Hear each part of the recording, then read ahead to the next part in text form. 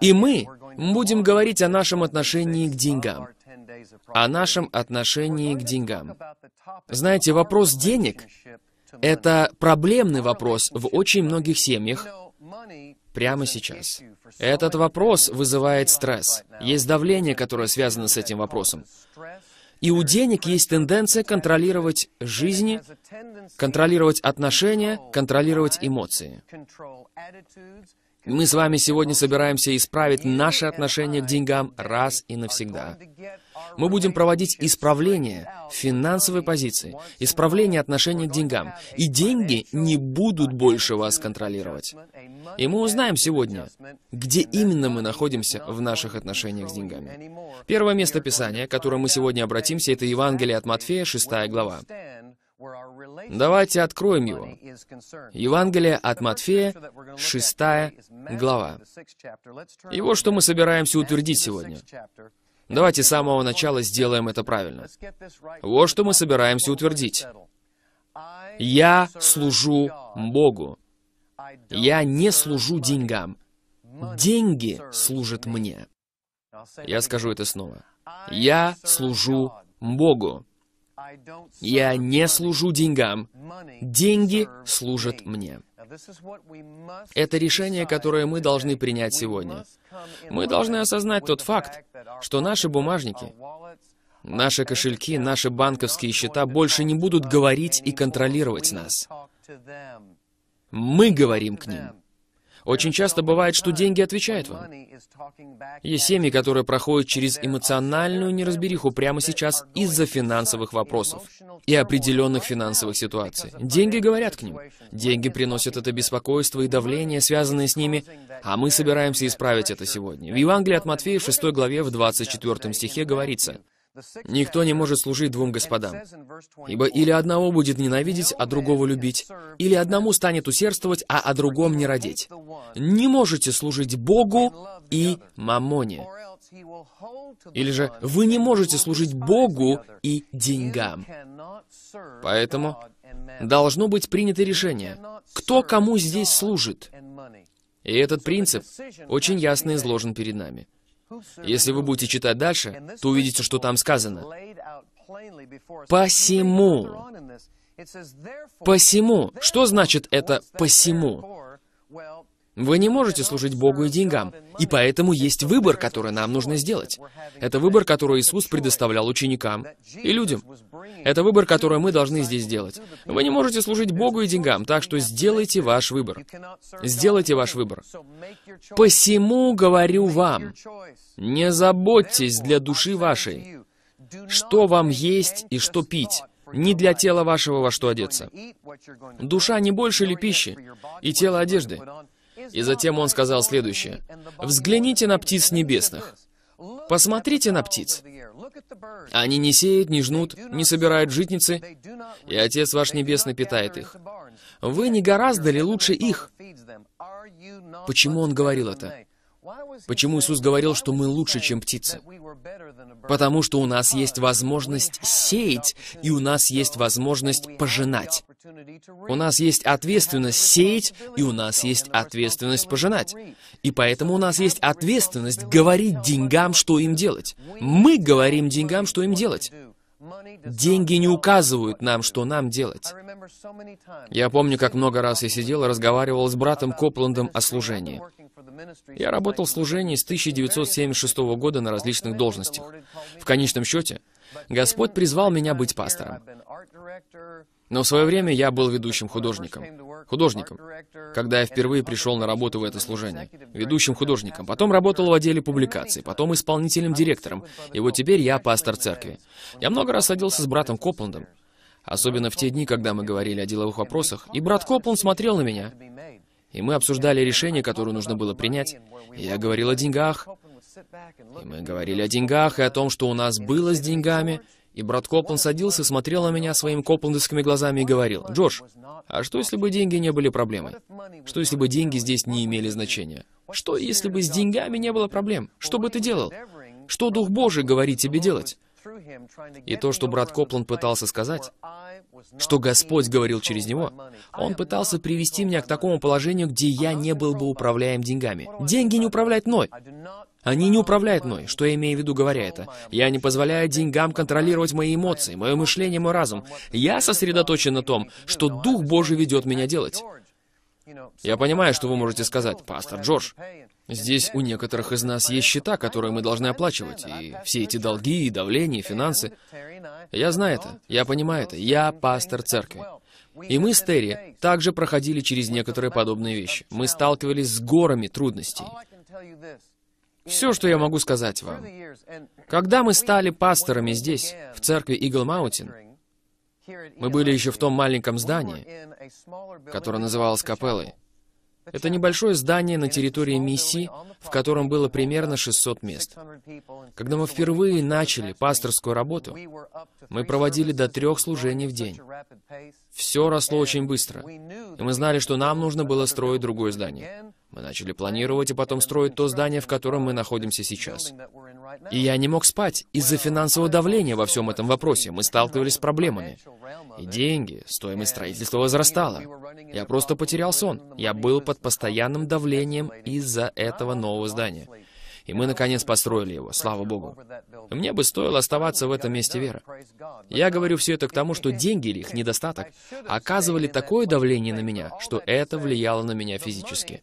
Я принял решение. Деньги не будут управлять мной. Есть они или нет. Слава Богу. Если их нет, вам лучше поверить, что я призываю их. Вам лучше поверить, веря, что этот урожай придет. Вам лучше верить, что я стою на моей вере, призывая этот урожай. Теперь у нас есть еще одно здание, над которым мы работаем. Это здание для нашей молодежи, и детей, и подростков, рядом с тем зданием, которое у нас есть. И в этом здании для молодежи и детей мы действуем так, как мы всегда действовали. Мы не берем деньги в кредит на него. Мы строим его по мере того, как деньги приходят. И мы начали весь процесс примерно три года назад, и каркас готов. И теперь мы в таком состоянии, что у нас есть деньги в банке, чтобы проводить первую фазу строительства внутри здания. На этот раз я занял другую позицию. Я не потерял ни минуты сна из-за этого здания. Ни одной минуты. И хотя было бы здорово иметь в банке все деньги, которые нужны для того, чтобы завершить это здание, я знаю, что деньги не управляют мной. Я слежу за этим. Я знаю в этот раз. Тогда в первый раз это была битва, но я должен был научиться, как стоять на Слове Божьем. Но в этот раз мы ходим верой, и в вере, и в Божьем покое. И знаете что?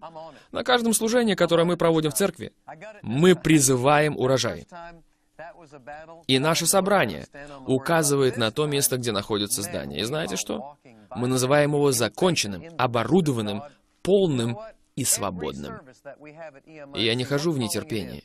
Верой и терпением мы наследуем обетование. Я говорю все это к тому, что деньги больше не контролируют меня.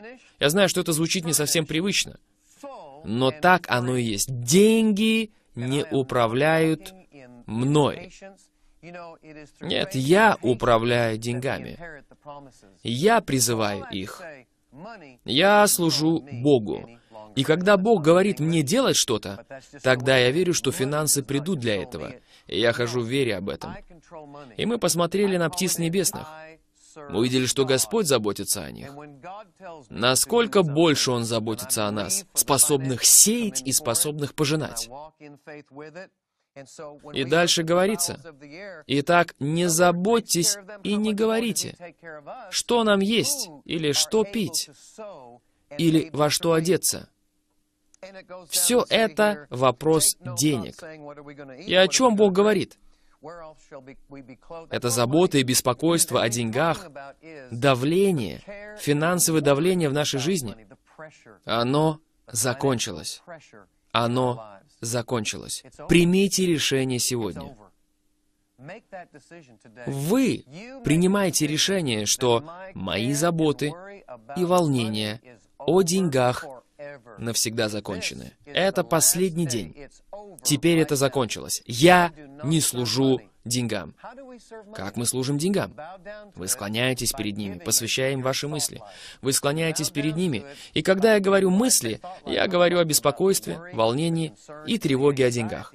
Вы буквально склоняетесь перед ними. Вы буквально служите им. Они говорят вам, что вы можете делать. Они говорят вам, что вы не можете делать. Когда вы говорите «у меня фиксированный доход», вы позволяете деньгам говорить вам и диктовать вам, как вы будете жить. Деньги это не делают. Я больше не служу им. Я больше не служу деньгам. Я служу Богу. Я служу Ему. Поэтому я не беспокоюсь, что мы будем есть, что мы будем пить, во что мы будем одеваться, потому что мой Небесный Отец знает, что я имею нужду в этих вещах. Но знаете, что я делаю? Я ищу прежде всего Царство Божьего и Его праведности, и все эти вещи прилагаются ко мне. Я служу Богу, я не служу деньгам. Деньги служат мне. Вы знаете, что деньги были даны нам как слуга. Давайте посмотрим первую главу книги «Бытия». Давайте уделим время тому, чтобы поговорить об этом. Деньги являются слугой для нас. Они не говорят нам, что делать. Мы те, кто говорит деньгам, что делать. И мы просто посмотрим несколько мест Писания. Первая глава, 29 стих книги Бытия. «И сказал Бог, вот, я дал вам всякую траву, сеющую семя, какая есть на всей земле, я дал вам семя. Я дал вам семя. И всякое дерево, у которого плод древесный, сеющий семя, вам сие будет в пищу. Ваше семя — это ваше обеспечение. Оно не говорит вам, что делать. Насколько бы нелепо это было, если бы фермер вышел с семенами в своем мешке, и вдруг семена поднимаются и начинают говорить к нему. Представьте себе эту картину. Представьте фермера с мешком семян, и вдруг эти маленькие семена поднимаются и начинают говорить к нему.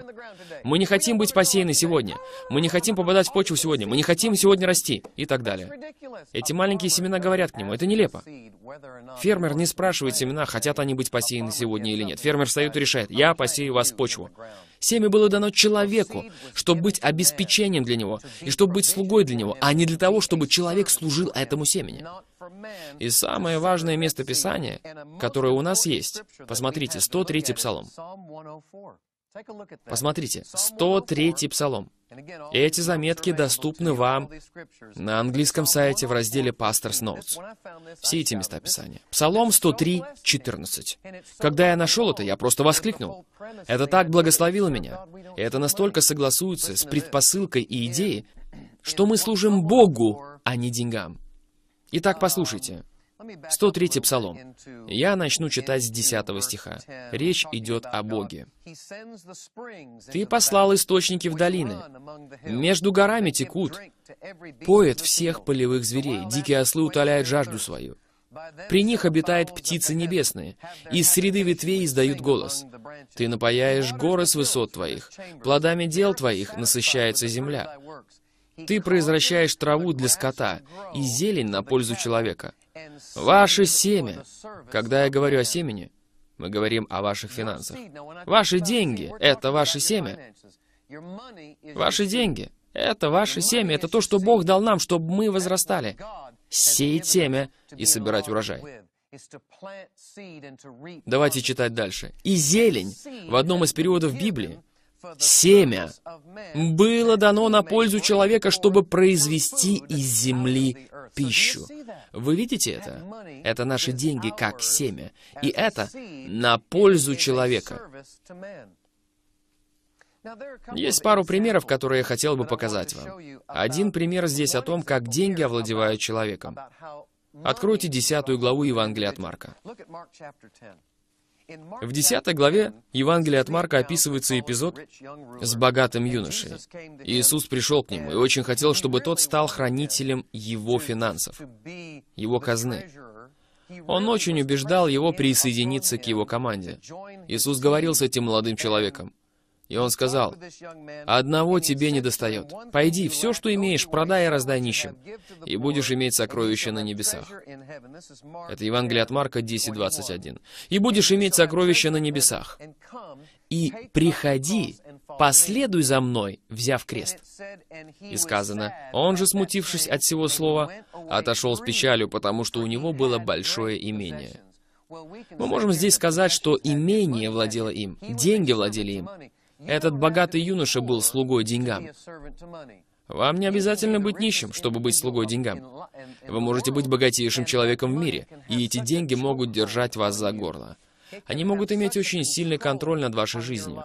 Поэтому это не ограничивается людьми, у которых нет денег. Всем нам приходится иметь дело с этим. Это то, что говорил Иисус.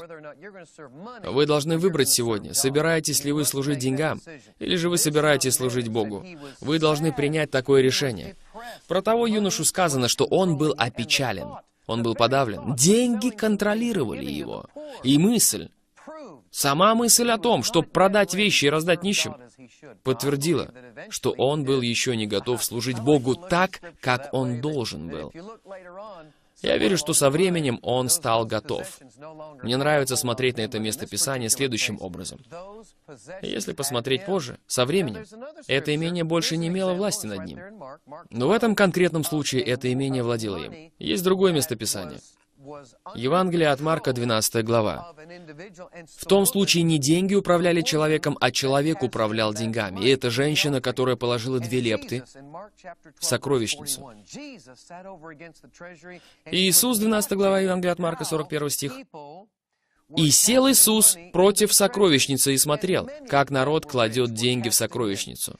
Многие богатые клали много. Придя же, одна бедная вдова положила две лепты, что составляет кадрант. Подозвав учеников своих, Иисус сказал им, «Истинно говорю вам, что эта бедная вдова положила больше всех, клавших в сокровищницу, ибо все клали от избытка своего, а она от скудости своей положила все, что имела, все пропитание свое». Эта женщина была тем человеком, над которым деньги не имели власти. Я верю, что эта женщина услышала голос Духа Божьего в молитве в один день. И у нее было это дневное пропитание, все, что она имела. Все это было у нее в руке. Я начал представлять себе образ этой женщины. И она совсем не была слабой женщиной. Она была сильной. Сильная женщина. И знаете, я окружен сильными женщинами. Я знаю сильных женщин. Я вырос в этом служении среди сильных женщин. Глория Копланд — сильная женщина. Келли Копланд Свишер — сильная женщина. Терри Копланд Пирксонс — сильная женщина. Я знаю сильных женщин. Вы знаете, мой зять, Коди Оукс, его бабушка Билли Брим. Она сильная женщина. Поэтому у меня все эти замечательные примеры благочестивых, сильных, могущественных женщин. И это именно тот образ, который я вижу в этой женщине, в этой бедной вдове здесь. Я увидел ее. И вот она услышала от Бога и сказала, «Хорошо, я беру эти деньги и несу их туда». И она была рада этому. И она взяла это и положила в сокровищницу. Иисус был потрясен этим. Все это говорит о том, что она никак не была контролируема деньгами. У нее все было под контролем. Она служила Богу. Деньги служили ей. Она не служила деньгам. я верю, что в тот день Потому что я знаю Иисуса из Писаний. Я верю, что в тот день, когда он увидел, как она делает это, и Иисус повернулся к казначею и сказал, «Открой ящик, и мы обильно благословим эту женщину». Я верю, что Иисус сделал это прямо там, перед всеми теми остальными богатыми людьми, которые находились рядом. Хорошо, еще одно местописание. У меня осталось еще немного времени. В первом послании к Тимофею в шестой главе написано. Давайте откроем и посмотрим, что там написано. Шестая глава первого послания к Тимофею. Послушайте. Да, у меня всего пару минут. В первом послании к Тимофею 6.17 сказано, «Богатых в настоящем веке увещевай, чтобы они невысоко думали о себе и уповали не на богатство неверное, но на Бога живого, дающего нам все обильно для наслаждения, чтобы они благодетельствовали, богатели добрыми делами, были щедры и общительны». И это то, что мы делаем. Вы знаете, неплохо быть богатым. И это инструкция, которая была дана Духом Божьим. Но нам нужно увязать это с парой предыдущих стихов. В этой же, шестой главе, первого послания к Тимофею, в десятом стихе сказано, «Ибо корень всех зол есть сребролюбие, которому, предавшись, некоторые уклонились от веры и сами себя подвергли многим скорбям. Я не люблю деньги. Я не служу деньгам. Деньги служат мне, а я служу Богу. Я приношу Богу мои финансы. Господь, что ты хочешь, чтобы я с ними сделал? Как ты хочешь, чтобы я поступил с этими деньгами? И это именно то исповедание, которое мы провозглашаем в церкви Игл Маунтин. В эту последнюю минуту позвольте мне сказать вам следующее. Вот что мы провозгласили, когда я проповедовал об этом несколько недель назад. Я решаю этот вопрос сегодня. Я исправляю свою финансовую позицию. Я не служу деньгам. Я не раб денег. Я служу Богу. Деньги служат мне. Я не работаю на деньги. Деньги работают на меня. Деньги не контролируют меня. Я контролирую деньги. Деньги не правят мной. Я управляю деньгами. Деньги не владычествуют надо мной. Я владычествую над деньгами. Я бесстрашно отделяю десятину, как мне сказано в Писании. Я смело отдаю, когда чувствую водительство Духа Святого. Деньги вы служите мне. Деньги вы подчиняетесь мне. Деньги умножаетесь, возрастаете и производите максимальный урожай. И урожай я приказываю тебе прийти ко мне прямо сейчас во имя Иисуса. Восклицайте о вашей победе. Слава Богу! Мы вернемся. Мы с вами будем говорить о сверхъестественном обеспечении. Давайте откроем Библию на 17 главе Евангелия от Матфея. 17 глава Евангелия от Матфея, я прочитаю вам с 24 по 27 стихи. Сверхъестественное обеспечение. Нам нужно настроить наш разум и наше сердце на то, чтобы увидеть, как Бог обеспечивает сверхъестественным образом. Сверх, конечно же, это слово, которое значит над, выше. Естественный означает земной или более низкий. И когда мы говорим о сверхъестественном обеспечении, мы говорим об обеспечении, которое не приходит из этого естественного мира.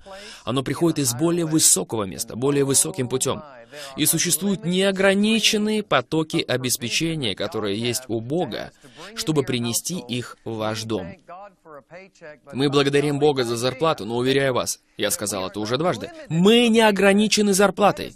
Это не является вашим доходом. Нет, нет. Вы сеете ваше семя и пожинаете ваш урожай. Это доход, это урожай, который приходит в ваш дом. И у Бога есть пути, как сверхъестественно обеспечивать вас. Пути, которые превосходят то, что наш естественный разум может постичь. И знаете что? Мы постигаем это, мы познаем это, и мы понимаем это. И вам лучше приготовить ручку и бумагу, так как у нас есть некоторые места Писания, которыми мы хотели бы поделиться с вами сегодня о том, как созидать внутренний образ принятия этого сверхъестественного обеспечения с небес. Послушайте эти места Писания. В 24 стихе 17 главы Евангелия от Матфея сказано, «Когда же пришли они в Капернаум, то подошли к Петру собиратели дидрахм и сказали, «Учитель ваш не даст ли дидрахмы?» Он говорит, «Да». И когда вошел он в дом, то Иисус, предупредив его, сказал, «Как тебе кажется, Симон, цари земные с кого берут пошлины или подати? Сынов ли своих или с посторонних?» Петр говорит ему, «С посторонних». Иисус сказал ему, «Итак, сыны свободны. Но, чтобы нам не соблазнить их, пойди на море, брось уду, и первую рыбу, которая попадется, возьми и, открыв у ней рот, найдешь статир. Возьми его и отдай им за меня и за себя. И я улыбаюсь, говоря об этом. И вы немного начинаете узнавать пастора Джорджа. Но я делал некоторые очень необычные вещи на служениях раньше. Однажды перед одним из служений я пошел домой к А.В. Копленду, отцу брата Копленда, и спросил, могу ли я взять на время чучело окуня, которого он поймал за несколько лет до этого. И окунь висел на стене, вот так, с открытым ртом. Я снял его, я открутил его от подставки и взял его с собой в церковь. Когда я принес его в церковь то утро, я вложил 100-долларовую купюру в его рот. И я проповедовал об этом в церкви. Я достал этого окуня и начал ходить с ним по церкви. И я остановился возле одной женщины. Я помню ее. Она по-прежнему ходит в церковь. Я остановился там и сказал, «Давайте, проверьте, что у него во рту». Она сказала, «О...» Я сказал, давайте, проверьте, что у него во рту. И она, наконец, проверила, что у него во рту, и достала 100-долларовую купюру. Все, кто были в собрании, захотели проверить, что во рту у этой рыбы. И что это демонстрирует? Это демонстрация сверхъестественного обеспечения. Это сверхъестественное обеспечение. Это доход, который приходит из более высокого места более высоким путем. И мы не ограничены тем, что приходит в наш дом. Позвольте мне просто поделиться откровением, которое Господь дал мне об этом. Сказано, возьми и, открыв у ней рот, найдешь монету. Я просто добавлю это сюда. У вас есть деньги в ваших устах. Деньги в ваших устах. Просто откройте свои уста и начните исповедовать Слово Божье. И начните провозглашать, «Мои счета оплачены полностью. Мои нужды восполнены по Его богатству в славе Христом Иисусом. Я сею семя, я пожинаю урожай, и мои долги погашены, выплачены во имя Иисуса». В ваших устах есть деньги. Я просто подумал, что это было так здорово. «Открыв у ней рот», сказано в Писании. Откройте свой рот. Откройте ваши уста, и вы найдете там деньги. Когда я думаю о сверхъестественном обеспечении, есть много примеров, но я хотел бы прочитать вам это. Мне это дал член нашей церкви, проповедник по имени Томми Уильямс. Он наш хороший друг уже многие годы. И Томми делился несколько лет назад тем, как он говорил птицам приносить ему деньги на основании третьей книги царств. Томми начал находить деньги вокруг дома после того, как он вышел и просто обращался к птицам. И на том служении, на котором проповедовал Томми, был 15-летний парень, который поверил в это. Некоторые люди, и мне даже пришлось рассказать моему собранию, когда я читал им это во время того месяца процветания, я им сказал, вам нужно сидеть там и верить в это, и провозглашать это. Это одна из вещей, которые мы делаем в нашей церкви. Когда мы движемся в помазание, все начинают восклицать. Это происходит со мной постоянно. Это происходит со мной постоянно. Когда мы говорим о деньгах во рту рыбы, мы говорим, это происходит со мной постоянно. В следующий раз, когда вы пойдете на рыбалку, вам нужно сделать это верой. Верой заглянуть в рот этой рыбы и посмотреть, что там. Итак, тот 15-летний парень был на служении. И Томми написал мне, этот 15-летний парень был так впечатлен этой историей, что он решил попробовать. Он попросил у Господа 10 долларов для миссии. Он вышел и проговорил к птицам и приказал им принести это на дерево во дворе. Я думаю, что я должен сказать это. Это правдивая история, я не выдумываю это. Я знаю, что Томми честный человек. Он не стал бы придумывать это. В первый день на дереве было 65 центов. Во второй день 2 доллара 35 центов. В третий день на дереве 7 долларов. Итак, всего 10 долларов за первые три дня. Некоторые из вас скажут, ну да, конечно, ну да, да, да. Вы те, для кого сверхъестественное обеспечение не будет работать. Исправьте это отношение. Хорошо, пастор Джордж, я верю в это. В течение следующих двух месяцев тот парень нашел 440 долларов на дереве. Провозглашайте, это происходит со мной постоянно. Это происходит со мной постоянно. Это может звучать странно. И для мира так оно и есть. Это звучит странно. Но если у вас собака, прикажите ей приносить вам деньги. Бог использовал животных в Библии. Я помню, однажды мы были в штате Арканзас. Вы видели молитвенный домик, где Канат и Глория время от времени записывают эти передачи? И они разрешили нам с Терри приезжать в этот молитвенный домик. И мы с Терри любим туда ездить. Мы ездили туда много лет. И мы проводим там просто замечательное время. Также мы взяли своих детей, Джереми и Обри. Они были еще совсем детьми в то время. Джереми было 14 лет или около того, и мы пошли на озеро и арендовали несколько водных мотоциклов. И просто гоняли на водных мотоциклах по озеру. И когда мы возвращались в конце дня, я вытаскивал водный мотоцикл и посмотрел на Джереми, и он стоял по колено в воде. И Джереми я просто вижу это, как сейчас. Джереми посмотрел вниз, опустил руку в воду, и когда он опустил ее в воду, он достал что-то. Это была 20-долларовая банкнота. Знаете, что это? Это сверхъестественное обеспечение. И что произошло? Мы приехали на двух машинах. Вместе с Джереми был друг, а вместе с Обри приехала подруга. И Джереми и его другу нужно было возвращаться в Форт Уорд раньше, и они поехали на одной из машин. Когда они поехали назад, они остановились, чтобы заправиться, и карточка Джереми не работала, и у него не было с собой никаких наличных, кроме 20-долларовой банкноты, которую он достал из воды. Знаете, что это было? Сверхъестественное обеспечение. Мы видели, как это происходит снова и снова. Когда мы строили в 80-х административное здание в миссии Кеннета Копленда, нам пришлось приостановить работу на какое-то время. И кто-то привез большое количество гипсокартона. И он спросил нашего управляющего стройкой, что мне со всем этим делать? Мы не заказывали это. Мы не заказывали. Знаете, откуда это пришло? Всякий добрый дар приходит от Отца Светов. Послание Иакова 1.17. «Всякое даяние доброе и всякий дар совершенный». В расширенном переводе Библии сказано «всякий бесплатный, большой и полный подарок свыше». И он приходит от Отца Света, в котором нет никакой переменчивости и никакой тени изменения. И это то, что вам нужно делать в отношении сверхъестественного обеспечения. Вам нужно увеличить свою способность верить в сверхъестественное обеспечение и самим занять такое положение и говорить «Я верю». Я верю. Некоторые остались на своих путях и могут думать только о естественной сфере. Я сам работаю над этим. Я вижу, как Бог сверхъестественно восполняет нужды в нашей церкви, в нашем служении, в наших семьях. Я питаюсь словом о сверхъестественном обеспечении. Я просто питаюсь Словом Божьим. Я сосредотачиваюсь на нем, я погружаюсь в него, я размышляю об этом. Я обновляю мой разум в отношении этого и затем упражняю свою веру. И я хочу прочитать вам еще пару пунктов. Опять-таки, напоминаю вам, что вы можете найти их на нашем английском сайте kcm.org в разделе Pastor's Notes.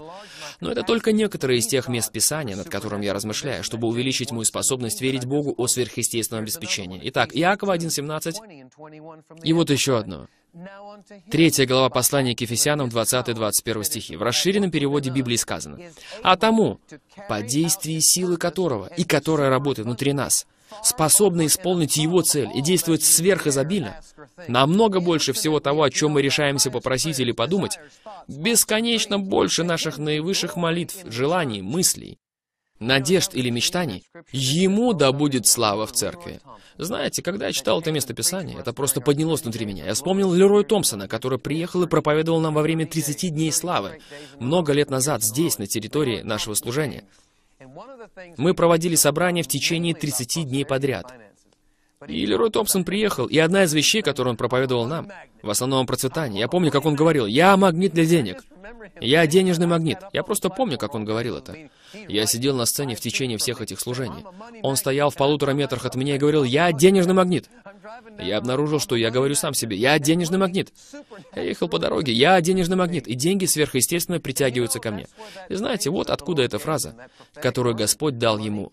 Это пророческое слово «деньги приходят», потому что когда-то он стоял в очереди в магазине, и человек, который покупал пиво впереди него, разговорился с Лероем Томпсоном и сказал ему, «Деньги уходят, верно?»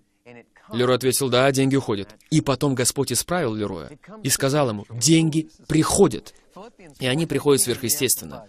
Здорово. Филиппийцам 4.19 в расширенном переводе сказано, «Мой Бог щедро обеспечит, наполнит до избытка вашу всякую нужду, согласно Его богатству, славе Христом Иисусом или во Христе Иисусе. И однажды я изучал это слово «обеспечит» в греческом. И слово, переведенное с греческого как «обеспечит», значит «наполнять», «делать полным», «щедро снабжать», «наполнять до избытка», чтобы не было никакого недостатка, «наполнять до краев», чтобы ничего не отсутствовало. Я размышляю над этим. Что я делаю? Я увеличиваю мою способность верить Богу о сверхъестественном обеспечении. И мне нравится это местописание, Псалом 67.20. В одном из переводов Библии сказано, «Благословен Господь, который каждый день нагружает нас благами». И знаете, в течение того сентября, того месяца процветания, когда я проповедовал об этом в церкви Eagle Mountain, у нас были большие пожертвования. Чеки на большие суммы приходили в церковь. Большие чеки. И знаете, мне пришлось покаяться, потому что первый чек, который пришел в том месяце, был просто огромным. Знаете, сам я из другого штата, но меня научили говорить так по-техасски, огромадный. Он был просто огромный. И мне пришлось покаяться, потому что через несколько дней после этого пришел еще один огромный чек, потом еще один, и еще один, и еще один. И я чувствовал себя как Петр, когда пришел большой улов рыбы. А он стоял посреди рыбы, которая билась вокруг него, и говорил, «Выйди от меня, Господи, ибо я человек грешный. Прости меня, Господь». Я просил Господа, прости меня, Господь, за то, что я подумал, что это первое пожертвование было единственным, которое придет в этом месяце. Я сразу же исправился. Я сказал, я готов для ежедневной порции. А вы? Разве вы не видите, как большой грузовик подъезжает к вашему дому прямо сейчас? И они его разгружают. Знаете, однажды я нарисовал один комикс. По профессии я художник, графический дизайнер. Я нарисовал один комикс и отдал его церкви. И там был изображен фургон, большой фургон для того, чтобы перевозить вещи, который подъехал задним ходом к чему-то дому, и люди разгружали вещи. Я написал на нем это местописание. «Благословен Господь, который каждый день нагружает нас благами». Я готов для ежедневной загрузки. А вы? Вы готовы? Солнце еще не село. Все еще есть время для того, чтобы ежедневная загрузка пришла к вам сегодня. Верьте в это и увеличивайте вашу способность видеть, как это приходит с каждой волной. В книге Экклезиаста в одном из переводов сказано «Отпускай хлеб твой по водам, и он вернется к вам назад с каждой волной». Мне нравится это местописание. Оно очень хорошее. Исайя 55.1. «Жаждущие, идите все к водам, даже и вы, у которых нет серебра. Идите, покупайте и ешьте. Идите, покупайте без серебра и без платы вино и молоко». Мы переживали в своей жизни, как хорошие вещи приходят к нам. И нам даже не надо было за них платить. Я хочу кое-что прояснить. Мы не крали их. Нам просто дали их. Нам их подарили. Вот к чему я говорю все это. Найдите ваши собственные места Писания. Знаете, прежде чем я пришел, чтобы проводить эту передачу, я хочу вам сказать, что у меня есть шкаф, наполненный моими конспектами. Я нашел этот документ, где я просто записал места Писания, одно за другим. Места Писания о сверхъестественном обеспечении. Позвольте мне перечислить вам некоторые. Это примеры сверхъестественного обеспечения. И вам нужно читать их самим, и питаться этим, и говорить самим себе, это происходит со мной все время. Это происходит со мной все время. Давайте посмотрим на некоторые из них. Первое. 22 глава Бытия, 6 по 14 стихи. Бог сверхъестественно дал овна для жертвы. 14 стих. «И нарек Авраам имя месту тому Иегова Ира. Господь обеспечит». Мы находим в третьей книге царств, 17 главе с 1 по 6 стиха историю о том, как Бог сверхъестественно посылал воронов, чтобы они приносили пищу, и Бог дал питье Или, сверхъестественно. Вот почему вам не нужно беспокоиться, что вам есть и что пить. Есть птицы, которые приносят это нам. Но знаете, это также представляет собой Божье сверхъестественное обеспечение. Бог принесет это вам так, как Он может принести это вам. Третье царство, 17 глава, с 8 по 16 стихи. Бог сверхъестественно обеспечил годовой запас еды для вдовы посреди голода. Мука в катке не истощится, и масло в кувшине не убудет, пока снова не пойдет дождь. И в одном из переводов сказано, что она и дом ее ели целый год. И мне нравится, как звучит 16 стих в новом живом переводе Библии. Там сказано, «И сколько бы они ни использовали, всегда оставалось достаточно в сосудах». Хорошо, четвертая книга царств, четвертая глава, 17 стих. Бог сверхъестественно обеспечил погашение долга для вдовы, пророка. Женщина продолжала наливать масло из маленького горшка во все пустые сосуды, которые она смогла найти. Мы поговорим об этом завтра. Сверхъестественное погашение долга. Вам нужно будет посмотреть эту передачу и услышать это. Четвертый царь, шестая глава, с 1 по 7 стихи.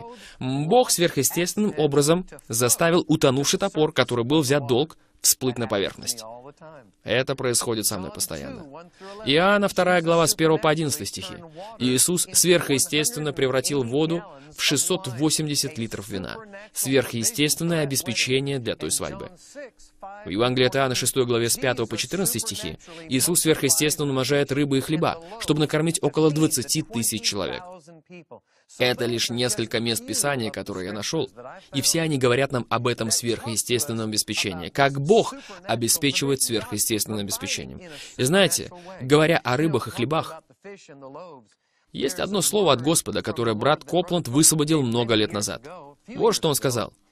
«Вы будете теми, кого Бог использует, чтобы сверхъестественно накормить потерянных, когда бедствие приходит. Только это не будет так, как это было в прошлом.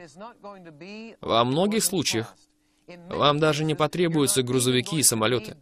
Во многих случаях вы просто возьмете одну маленькую порцию и разделите ее, и разделите ее, и снова разделите ее. Иисус прикоснулся к хлебам и рыбам, и они были сверхъестественно умножены. И знаете что? Если Иисус является вашим Господом и Спасителем, если Он живет внутри вас, вы можете говорить те же самые слова, что Иисус говорит. И один молодой человек подошел ко мне после собрания вечером и просто хотел задать мне несколько вопросов о том, почему мы говорим те слова, которые мы говорим. И я начал объяснять ему, что в Слове Божьем сказано, что жизнь и смерть во власти языка, и что нам нужно выбрать жизнь и начать говорить жизнь, провозглашать жизнь. И затем я сказал ему, что мы можем прийти в такое положение, где мы можем говорить слова Божьи голосом Иисуса. Знаете, что вам нужно сделать? Вам нужно возложить руки на ваш дом, на вашу семью, и вам нужно начать говорить слова веры, что сверхъестественное обеспечение приходит в ваш дом. Я знаю и понимаю, что есть так много людей, которые испытывают сильное давление. Банки забирают дома за долги, предприятия закрываются. Но вам нужно понять, что вы живете, как народ израильский тогда в Египте, в земле Гесем. И что в этой земле Гесем есть свет, и Бог сверхъестественно обеспечивает вас. И когда те дети Израиля покинули Египет, они ушли со всеми вещами и всей добычей. Они были обеспечены. И это было сверхъестественное действие Божье. В один момент они были нищими, а в другой они стали богатыми. И Дух Господень, когда вы продолжаете давать и сеять вере, и верить Богу. И знаете, сеяние — это сверхъестественное действие. В шестой главе послания Галатам сказано, что когда мы сеем в дух, мы пожнем от духа. Бог поругаем не бывает. Что вы сеете, то вы и пожнете. И раньше мы смотрели на это в негативном свете. И это тоже правда. Что посеешь, то и пожнешь. Но послушайте, Бог поругаем не бывает. Те вещи, которые вы сеете, финансы, которые вы сеете, вы сеете их в дух, и из духа вы пожнете их. И вы пожнете сверхъестественное обеспечение. Это принадлежит вам и мне во Христе Иисусе. Мы вернемся. Долг — это проблема, нарастающая проблема в семьях по всему миру. И особенно в отношении нашей нации. Уже ведется много разговоров о том, что долговая нагрузка возрастает. Но знаете что? В нашем завете с Богом нам доступен сверхъестественный план погашения долгов. И Он поможет нам сделать все необходимое, чтобы нам не пришлось быть привязанными к этому долгу 30 лет и выплачивать все эти дополнительные деньги. Но чтобы этот долг, о котором мы верим, был стерт, уничтожен, смыт прочь, чтобы мы могли использовать эти финансы для Евангелия Господа Иисуса Христа. Давайте откроем четвертую главу Евангелия от Луки. Начнем с этого. Четвертая глава Евангелия от Луки. Сегодня я буду говорить с вами о трех способах, которые есть у Бога для того, чтобы сверхъестественно удалить долг из вашей жизни. И снова повторю, что заметки, которые мы используем на этой передаче, доступны на нашем английском сайте kcm.org в разделе Pastors Notes. Вы можете найти их и скачать и распечатать. Пасторы, вы можете использовать их, когда вы проповедуете. Там на английском языке есть некоторые из тех же самых конспектов, по которым я проповедовал в течение сентября 2010 года, в течение этого месяца, который мы назвали «Месяцем процветания», потому что Господь сказал мне, «Назови сентябрь 2010 года месяцем процветания, и мы это сделали. И Бог дал мне инструкции в отношении того, что говорить собранию на каждом служении, которое мы проводили по воскресеньям и средам, проповедуя об этом процветании, в особенности о финансовом процветании. И была одна из тем, которые мы обсуждали. Это тема о сверхъестественном погашении долгов. Давайте начнем с четвертой главы Евангелия от Луки. Там описывается момент, когда Иисус вернулся после искушения в пустыне — Дьявол искушал Иисуса, когда он постился. Итак, он вернулся в Назарет, и в 17 стихе сказано, Ему подали книгу пророка Исаи, и он, раскрыв книгу, нашел место. Он нашел себя. Место, где было написано «Дух Господень на мне, ибо Он помазал меня благовествовать нищим и послал меня исцелять сокрушенных сердцем, проповедовать пленам освобождение, слепым прозрение, отпустить измученных на свободу, проповедовать лето Господне благоприятное». Сказано «И, закрыв книгу и отдав служителю, сел». И глаза всех в синагоге были устремлены на него. И он начал говорить им, «Ныне исполнилось Писание сие, слышанное вами». В 19 стихе мы находим, что там написано «проповедовать лето Господне благоприятное». Что такое лето Господне благоприятное? Это год юбилея, год, когда все долги прощались, все счета оплачивались. Там было прощение всех долгов. Иисус проповедовал, «Дух Господень на мне, чтобы проповедовать лето Господне благоприятное». И дальше он добавил, «Ныне, в этот день, исполнилось Писание сие, слышанное вами».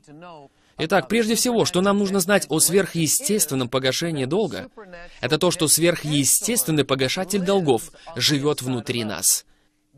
Иисус живет внутри вас, если вы приняли Его как своего Господа и Спасителя. Он снабжает вас. Он ваш обеспечитель, ваш исцелитель, ваш освободитель. Он ваш финансовый директор, и Он ваш погашатель долгов. Иисус сказал им, что Он находится там, чтобы проповедовать лето Господне благоприятное. Он сказал, «Ныне исполнилось Писание сие, слышанное вами». Итак, внутри вас живет погашатель долгов. И однажды читал это местописание в контексте погашения долгов. Я думаю, что вы можете читать это местописание в контексте исцеления, в контексте освобождения от страха, но что все эти вещи связаны между собой. И послушайте, как это работает, когда речь идет о погашении долга. «Дух Господень на мне, ибо Он помазал меня благовествовать нищим». Благая весть для нищих в том, что им не нужно больше быть нищими. И им уж точно больше не нужно оставаться в долгах. Он послал меня исцелять сокрушенных сердцем. Люди, которые находятся под давлением долгов.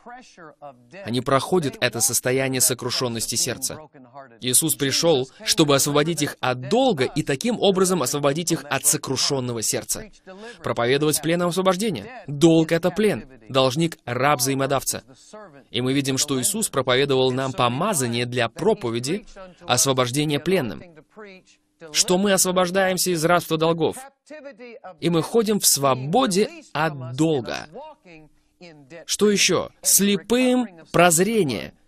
Когда люди так поглощены долгом и финансовыми проблемами, это делает их слепыми к тому, что Дух Божий пытается показать им. Но вы убираете это от них, и есть свобода, чтобы видеть то, что Бог хочет, чтобы они видели. Отпустить измученных на свободу. Это мучение приходит от ударов финансового давления и долга, который отягощает людей. Знаете, брат и сестра Копланд приняли решение много лет назад, в 1967 году, никогда не брать деньги в долг для личной жизни и для этого служения. И знаете что? Я так благодарен, что они приняли это решение. Теперь вы также можете принять это решение. И Господь поможет вам выбраться из этой долговой ситуации. Возможно, на это уйдет какое-то время, но послушайте. Когда вы учитываете фактор сверхъестественного, это намного быстрее. На это уходит гораздо меньше времени. И Кеннет и Глория сделали это посвящение Господу. Мы сделали это посвящение Господу. Мы с Терри сделали это посвящение. Жить жизнью, свободной от долгов а также и наша церковь, наше служение. Знаете, на самом деле, у нас есть административное здание, которое было закончено в 1986 году. 1986 год. И я помню, что это был первый день, когда мы отвели нашу дочь в детский сад здесь, в нашем служении. И затем пришли на работу прямо сюда, в административное здание. Но если бы мы брали деньги в долг на это здание, брали деньги в долг, чтобы суметь построить здание, мы все еще выплачивали бы проценты и сегодня. Но мы прожили все эти годы, потребовалось немного дольше. И у нас было несколько остановок. Но оно было завершено, оно было построено. Построено без долгов, и это замечательно. И вы можете жить таким образом. Вам нужно начать открывать ваше сердце и разум, чтобы увидеть это. И позвольте мне поделиться с вами сегодня на передаче тем, что у меня есть три сверхъестественных пути, благодаря которым Бог убирает долг. Позвольте мне сначала дать вам три пути, а затем мы посмотрим места Писания для каждого из них. Во-первых, в сверхъестественном погашении долга Он обеспечит вас финансами, чтобы выплатить долг. Это один из путей. Вот еще один. Он уберет долг полностью. И третий. Бог вдохновит других выплатить долг. Давайте посмотрим на первый путь. Он обеспечивает финансы для выплаты долга. Если вы посмотрите четвертую книгу Царств, четвертую главу с 1 по 7 стихи, то здесь мы можем увидеть, что Елисей пришел к этой вдове. У нее недавно умер муж, пророк, и кредиторы хотели забрать ее двоих сыновей в рабство. И вот приходит Елисей и говорит ей, что мне сделать тебе? И спрашивает, что у тебя есть в доме? Она сказала, «Нет у рабы твоей ничего в доме, кроме сосуда с елеем».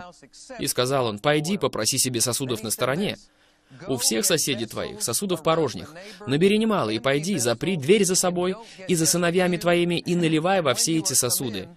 Из твоего сосуда полный отставляй. И написано, и пошла от него, и заперла дверь за собой, и за сыновьями своими. Они подавали ей, а она наливала. Когда наполнены были сосуды, она сказала сыну своему, подай мне еще сосуд. Он сказал ей, нет более сосудов. И остановилось масло. И пришла она и пересказала человеку Божию. Он сказал, пойди, продай масло и заплати долги твои, а что останется, тем будешь жить сыновьями твоими. Итак, мы видим отчаянную ситуацию. И очень многие люди находят самих себя в отчаянных долговых ситуациях. Они одалживали, одалживали, одалживали и оказались в таком положении, когда они должны так многим людям. И, возможно, финансовая ситуация в их жизни сложилась так, что они не могли справиться со своими долгами. Итак, мы видим, что эта женщина находилась в безвыходном состоянии. Может быть, некоторые из вас в безвыходном состоянии сегодня. Но послушайте эту историю. Прежде всего, она обратила внимание на то, что говорил пророк Елисей. Он спросил, «Что есть у тебя в доме?» И дальше она послушалась пророка. Пошла и набрала сосудов. Ее сын взял сосуды, принес, и она начала наливать то масло. У меня здесь стоит чай, и я пью этот чай между передачами. Но подумайте, что бы было, если бы я просто начал, если бы у меня был здесь большой сосуд или большой кувшин рядом со мной, и я начал бы наливать этот чай в этот кувшин, наполнил бы весь этот кувшин, и там был бы бесконечный источник, который выливался из этой кружки, откуда-то из сверхъестественного мира. Этот чай наливался бы в этот сосуд. А именно это и произошло с той вдовой. Она наливала то масло. Она наливала, наливала и наливала, пока все сосуды не были наполнены. И тогда пророк сказал ей, «Пойди, продай масло». Я верю, что она получила лучшую цену за то масло. Она просто занялась торговлей маслом и получила лучшую цену за масло. Пророк сказал, «Возьми деньги, которые ты получила, заплати долги и живи на остальные деньги». В новом живом переводе Библии сказано, «Продай масло, заплати свои долги, и останется достаточно денег, чтобы содержать тебя и твоих сыновей. Что ж, это был ее выход на пенсию, прямо там. И кто знает, что она делала с теми финансами? Кто знает, что произошло с ней? Может быть, она возглавила всю ту местность. Я имею в виду, эту идею можно развивать и развивать. Но факт в том, что Бог сверхъестественно обеспечил ее финансами, чтобы она смогла избавиться от долгов. Хорошо. Теперь рассмотрим второй путь. Второй путь. Бог полностью уберет долг. 18 глава Евангелия от Матфея, 23 стих. Давайте прочитаем это. С 23 стиха. «Посему Царство Небесное подобно царю, который захотел сосчитаться с рабами своими. Когда начал он считаться, приведен был к нему некто, который должен был ему 10 тысяч талантов. Когда вы проводите все вычисления, это почти 200 тысяч килограммов серебра. Я имею в виду, тот человек был должен очень много денег. А как он не имел чем заплатить, то государь его приказал продать его, и жену его, и детей, и все, что он имел, и заплатить. Тогда раб тот пал, и, кланяясь ему, говорил, «Государь, потерпи на мне, и все тебе заплачу». Государь, умилосердившись над рабом тем, отпустил его и долг простил ему. Если вы продолжите читать историю, вы найдете, что этот же самый человек, который был освобожден, не простил человеку, который должен был ему совсем немного. Этот человек закончил не очень хорошо. Но мы не будем углубляться в этом. Давайте посмотрим только до этого места.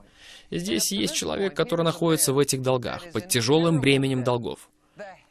Я знаю, что есть люди, которые ощущают тяжесть долга прямо сейчас. Но, но, это очень важное слово в данном случае. Но, это важное слово, потому что мы говорим о сверхъестественном погашении долгов.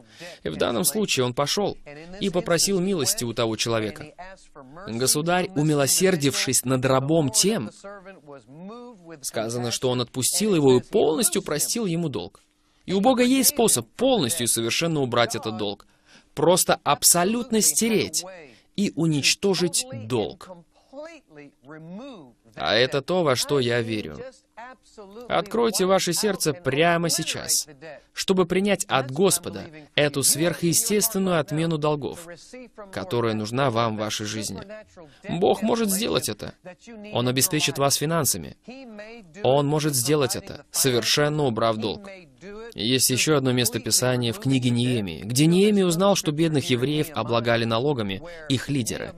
Их облагали налогами так, что они теряли свою землю, теряли свой урожай. Они теряли свои семьи. Они оказались в безвыходном положении в отношении этих долгов. Но вы должны понимать кое-что сегодня. Когда мы ходим с Богом, мы в беспроигрышной ситуации. Какими бы ни были условия, в которых вы находитесь прямо сейчас, со Словом Божьим, вы в беспроигрышной ситуации. И все выглядело так, будто эти евреи были на грани уничтожения. И Ниемия, сказано, что он рассердился и ударил кулаком по столу. И он собрал всех лидеров вместе и сказал, это должно прекратиться. И он сказал, приказываю вам прямо сейчас освободить этих людей от их долгов. И там была массовая отмена долгов, массовая отмена налогов. Я слышал о случаях и слышал одно свидетельство за другим о том, как Бог уничтожал долги в жизни людей. Просто чудесное, сверхъестественное погашение и уничтожение долгов в жизни людей в моем собрании. Это отмена долга, которая приходит свыше и высшим образом. Поэтому Бог может обеспечить вас финансами, чтобы выплатить долги. Он может полностью и совершенно стереть долги. А также есть еще третий путь. И прежде чем я вам скажу про третий путь, я вам скажу вот что. Он сократит долг. Я отношу это к отмене долга. Он либо уберет долг, либо он сократит долг. И в дополнение к этому, он обеспечит вас финансами. Вы можете углубиться в детали всего этого, но все это к тому, что Он позаботится об этом долге. Он сократит долг. Я просматривал свой конспект и искал некоторые из этих вещей, и вот свидетельство, которое рассказал один человек из нашей церкви. Это свидетельство о компании, которой они должны были шесть с половиной тысяч долларов. И компания написала им письмо. У меня есть письмо. Они написали и сказали если вы согласны заплатить 1600 долларов, мы будем считать, что мы в расчете. А члены нашей церкви даже не просили компанию об этом. Люди из этой компании обратились к ним и сказали, если вы согласны заплатить 1600 долларов, мы закроем этот вопрос. Так что этот долг был сокращен на 75%. И место Писания, которое я использовал, было из 16 главы Евангелия от Луки, где говорится о том, как слуга сделал серьезные ошибки, и затем он начал обращаться к отдельным людям, которые были должны деньги его господину, и говорил, «Вот ты должен моему господину 250. Ты согласен заплатить 100, и мы будем считать, что мы в расчете». Пошел к другому человеку и сказал, «Ты должен ему 500, а 250 заплатишь?» Если заплатишь, будем считать, что мы в расчете. Он пошел к другому человеку и сказал, ты должен тысячу. А давай договоримся, что ты заплатишь 500. Итак, Господь будет делать это. Это часть плана погашения долгов. Он сделает это. И третий путь. Он будет побуждать других, чтобы выплатить ваши долги. Давайте откроем послание к Филимону. Послание к Филимону мы узнаем, что был раб-слуга, которого звали Анисим, который принадлежал Филимону. И апостол Павел написал об этом Анисиме. Анисим позже родился свыше и стал полезен апостолу Павлу. И Павел написал об Анисиме. И послушайте, что он написал. «Если же он чем обидел тебя или должен тебе что-то?» Он писал Филимону. 18 стих. «Если же он чем обидел тебя или должен, считай это на мне». У Павла были счета с ним, и он сказал, «Считай это на мне». И Павел сказал, «Я, Павел, написал моей рукой, я заплачу. Я позабочусь о долге». И дальше Павел сказал, как тот, кто ведет переговоры, «Не говорю тебе о том, что ты и самим собою мне должен, Поэтому я думаю, что долг был, наверное, полностью убран. Но послушайте, Павел был готов сам оплатить долг. И в расширенном переводе Библии сказано, «Если он причинил тебе какое-то зло каким-то образом, или должен тебе что-то, запиши это на мой счет». Я, Павел, напишу это своей собственной рукой.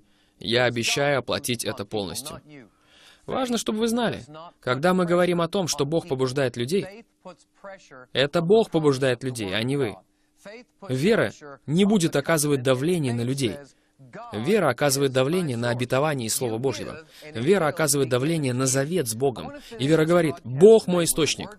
Вы даете, и дано будет вам. И хочу завершить передачу сегодня словом от Господа, которое брат Копланд получил в отношении вопроса свободы от долгов в 2007 году. И слово Господне пришло. И в нем говорилось, Проявление благословения находится на наивысшем за все времена уровне. Вы приближаетесь к проявлению славы в благословении. Это такой взрыв в способах и интенсивности, какого человечество никогда не видело раньше. Благословение окружит вас. Оно охватит вас. Вы научитесь ходить в тайном месте Всевышнего Бога.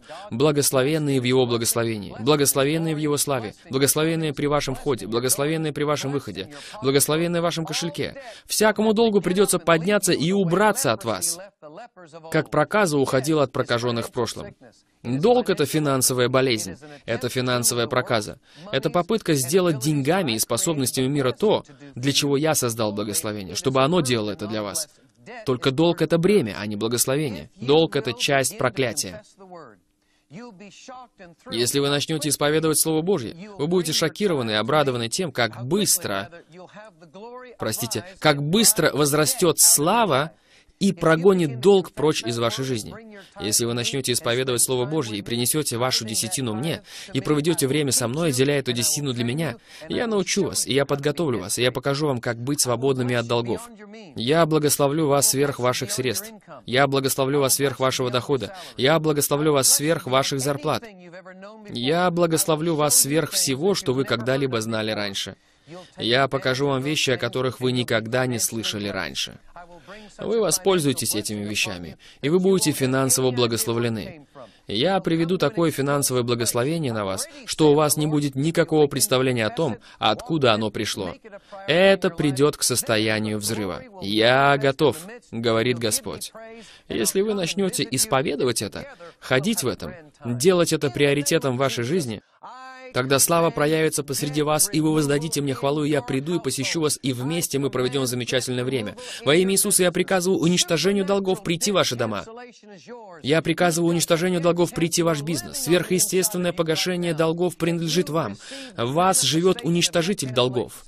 Прямо сейчас. И вы принимаете проявление погашения долгов. Скажите, я принимаю это, я верю в это, я хожу в этом. Я принимаю сверхъестественное погашение долгов в моей жизни. Всякий долг стерт, всякий долг уничтожен. И провозглашен провозглашайте это и говорите это, и обращайтесь к Слову Божьему с этим, и вы обнаружите себя свободными от долгов.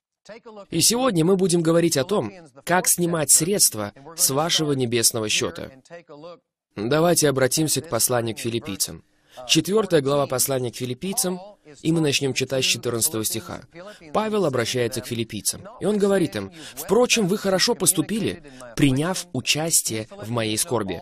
Вы знаете, филиппийцы, что в начале благовествования, когда я вышел из Македонии, ни одна церковь не оказала мне участия подаянием и принятием, кроме вас одних. Вы и Фессалонику, и раз, и два присылали мне на нужду.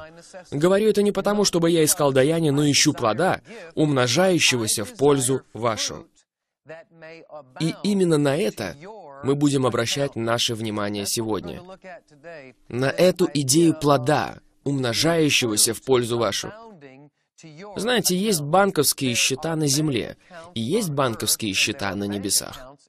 Позвольте мне поговорить о банковских счетах на земле. Прежде всего, вы должны понимать, что это не противоречит воле Божьей, чтобы у вас был банковский счет или несколько банковских счетов здесь на земле.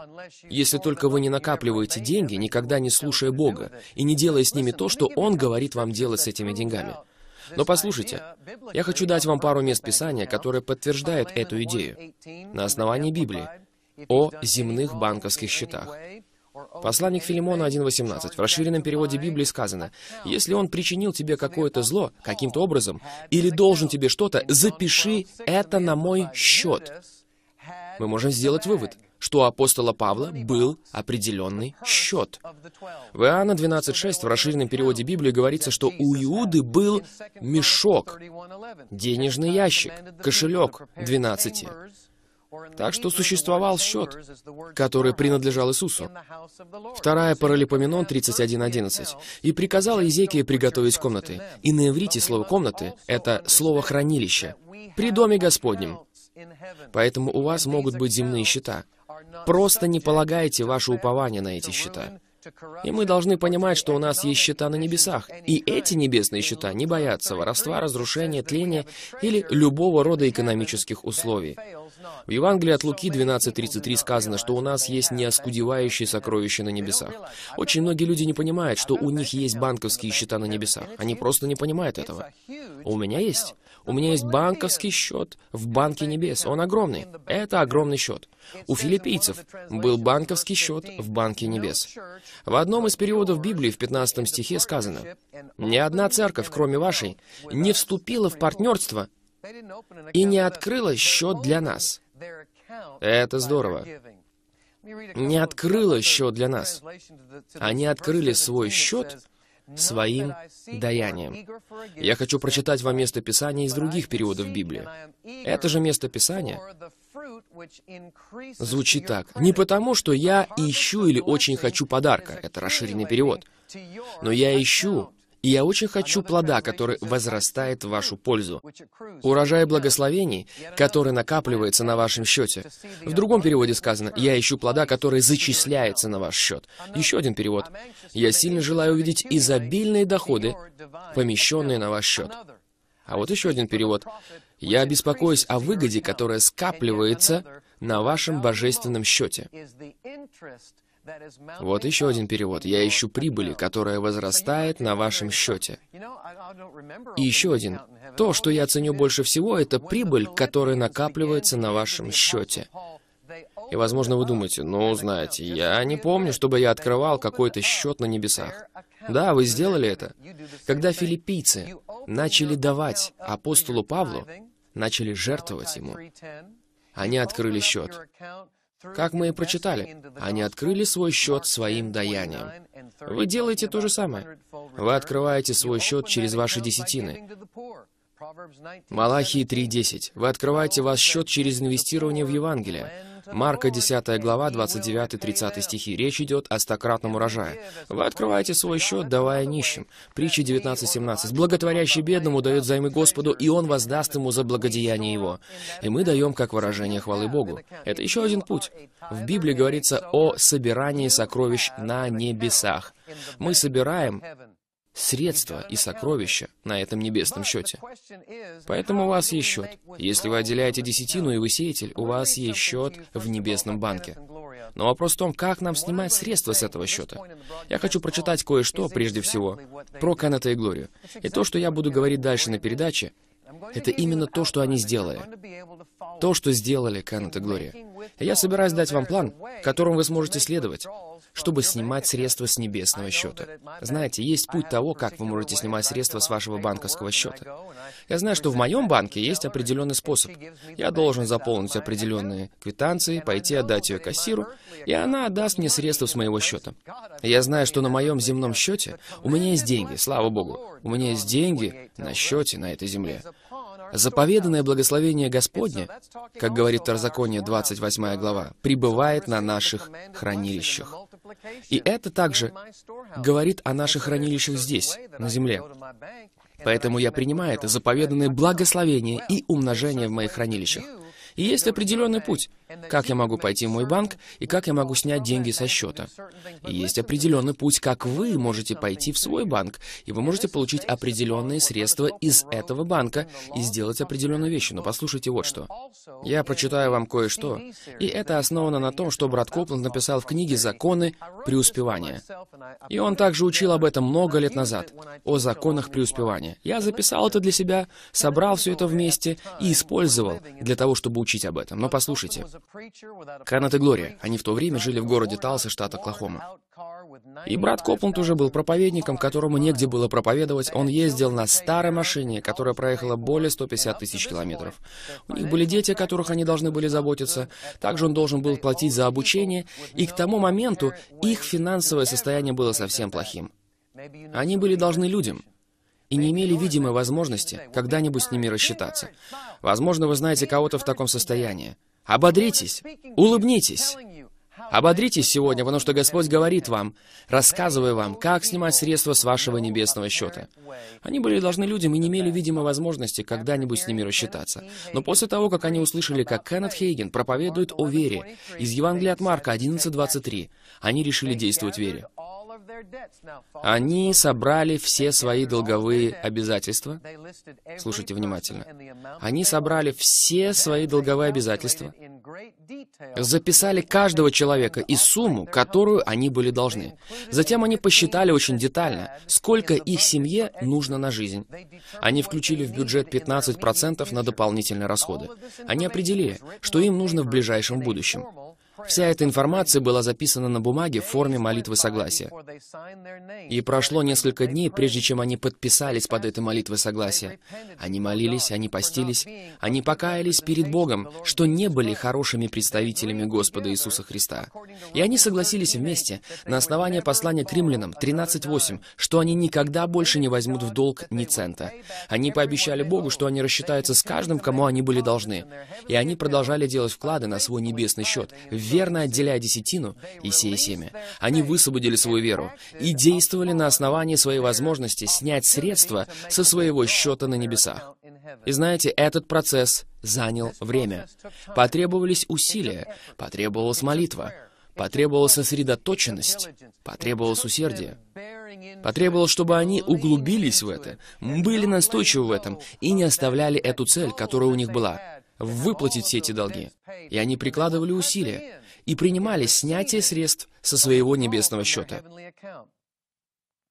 Они пропитали себя Словом Божьим и отключили все голоса этого мира. Никакого телевидения, никаких газет, только Слово Божье.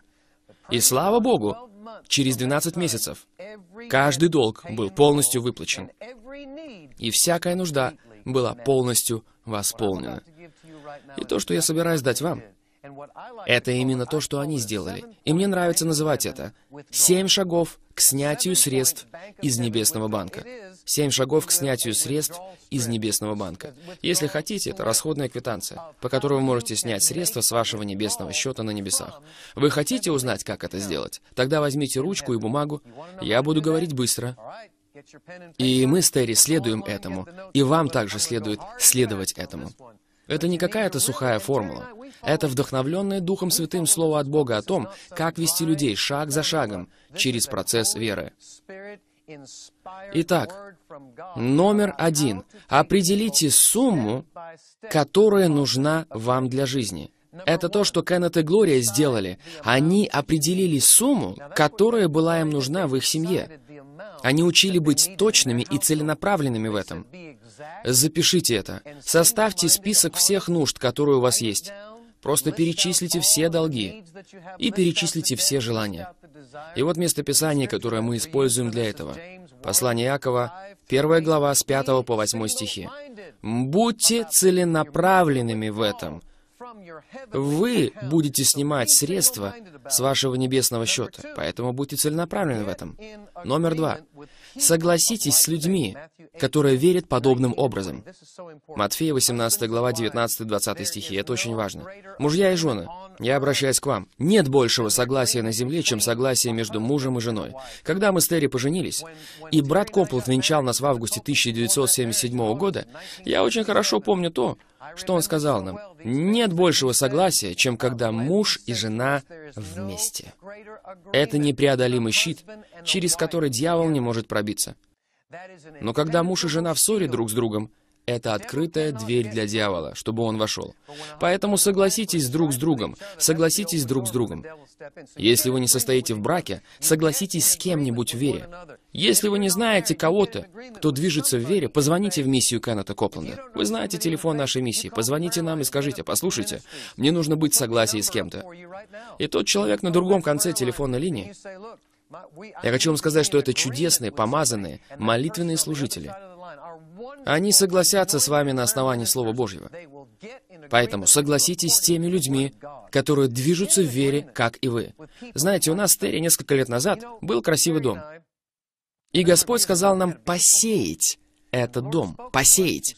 И когда Терри впервые сказала мне об этом, она сказала, Джордж, что ты думаешь по поводу того, что Господь хочет, чтобы мы посеяли, отдали этот дом? Два года спустя я ей ответил. Я говорю серьезно. Мне потребовалось два года, чтобы решить это в молитве. Я помню день, когда это пришло в мое сердце, что мы должны отдать, посеять его. Мы летели в самолете после того, как закончили собрание в Бормунте, в Англии. И мы улетали домой в тот день. И когда мы взлетали, это просто взорвалось внутри меня. Дух Божий просто поднялся и проговорил ко мне. И я повернулся к Терри и сказал, это время, чтобы отдать этот дом. И мы согласились друг с другом, и мы посеяли этот дом. Мы сначала полностью рассчитались за него, и затем мы посеяли это. И мы верили Богу. И знаете, именно так мы с Терри живем. У нас есть молитвы согласия, которые относятся еще к тому времени, когда мы не были женаты. Я сохранил эти молитвы, я храню это. Мы оглядываемся на них время от времени и просто радуемся благости Божьей. Нет ничего более сильного, чем люди, которые соглашаются в вере друг с другом. Поэтому согласитесь в молитве веры. Номер три. Востребуйте то, что вам нужно верой. Востребуйте то, что вам нужно верой. Именно это и есть снятие с небесного счета. Снятие средств, которые вы ищете. Потребуйте это. Снимите с небесного счета. Согласно Евангелию от Марка, 11 главе, 23 и 24 стихам, скажите Господу, Отец, я снимаю сейчас с небесного счета те финансы, которые мне нужны. Сделайте это. Если вы сеете, у вас есть небесный счет. Если вы отделяете десятину, у вас есть счет на небесах. Поэтому востребуйте то, что вам нужно. Снимите эту сумму из Банка Небес. Хорошо, номер четыре. Свяжите дьявола и его темные силы. Это соответствует Евангелию от Матфея 18.18. 18. Скажите, «Сатана, убери свои руки от моих денег. Оставь их. Не сдерживай их». И это обеспечивает свободный доступ для Бога, чтобы иметь возможность доставить это вам. Поэтому свяжите дьявола и его темные силы. Номер пять. Высвободите ангелов пойти и взять это. Служебные духи, пойдите и получите мои деньги. Вы отправляете их в небесный банк. Пойдите и скажите этому кассиру, и снимите эти средства из Банка Небес. Согласно посланию к евреям 1.14, ангелы — это служебные духи, посылаемые на служение для тех, которые имеют наследовать спасение. Служебные духи, пойдите и получите мои деньги прямо сейчас. Номер шесть. Постоянно прославляйте Бога за это. Псалом 33, 2 стих. «Постоянно прославляйте Бога». И это удерживает вашу веру на высоком уровне. Это удерживает ответ перед вами. Это удерживает вас в положении принятия от Господа. Вы просто постоянно прославляете Бога за это. Именно это и делали Канет и Глория. Именно это делали мы с Терри. И это все, что вам нужно делать для того, чтобы снимать средства с небес и видеть, как эти финансы приходят в вашу семью. И затем Иакова 3.16 и Марка 11 глава 25-26 стихи. Номер 7. «Избегайте ссор и непрощения». Они просто выключают все. Они перекроют способность Бога принести это вам и доставить это в ваши руки. Я хочу повторить, у вас есть счет на небесах. Этот счет полон и ждет, когда вы можете снять с него средства. И Дух Божий прямо сейчас побуждает меня вернуться и повторить все эти пункты еще раз. И еще раз пройтись по ним вместе с вами. Давайте сделаем это. Это то, что Кеннет и Глори Копланд делали, чтобы снимать финансы. Это вывело их из долгов. В то положение, в котором они находятся и сегодня. К тому, чтобы ходить в Божьем финансовом обеспечении. Итак, номер один. Определите сумму, которая вам нужна для жизни. Будьте точными и целенаправленными в этом. Примите решение о той сумме, которая необходима. Номер два. Согласитесь с людьми, которые верят точно так же, как вы. Это согласие — непробиваемый щит. Номер три. Востребуйте то, что вам нужно верой. Снимите верой эти средства со своего небесного счета. Вы снимаете их при помощи слов своих уст. Отец, я снимаю сейчас эти средства с моего счета во имя Иисуса. Номер четыре. Свяжите дьявола и его темные силы. Сатана, убери свои руки от моих денег во имя Иисуса. Место Писания для первого пункта. Иакова, первая глава, с 5 по 8 стихи. Для второго пункта. Матфея, 18 глава, 19-20 стихи. Для третьего. Марка, 11 глава, 23-24 стихи. Для четвертого. Матфея, 18, 18. Номер пять. Евреям 1.14. Высвободите ангелов пойти и доставить это вам. Служебные духи, пойдите и получите мои средства сейчас во имя Иисуса.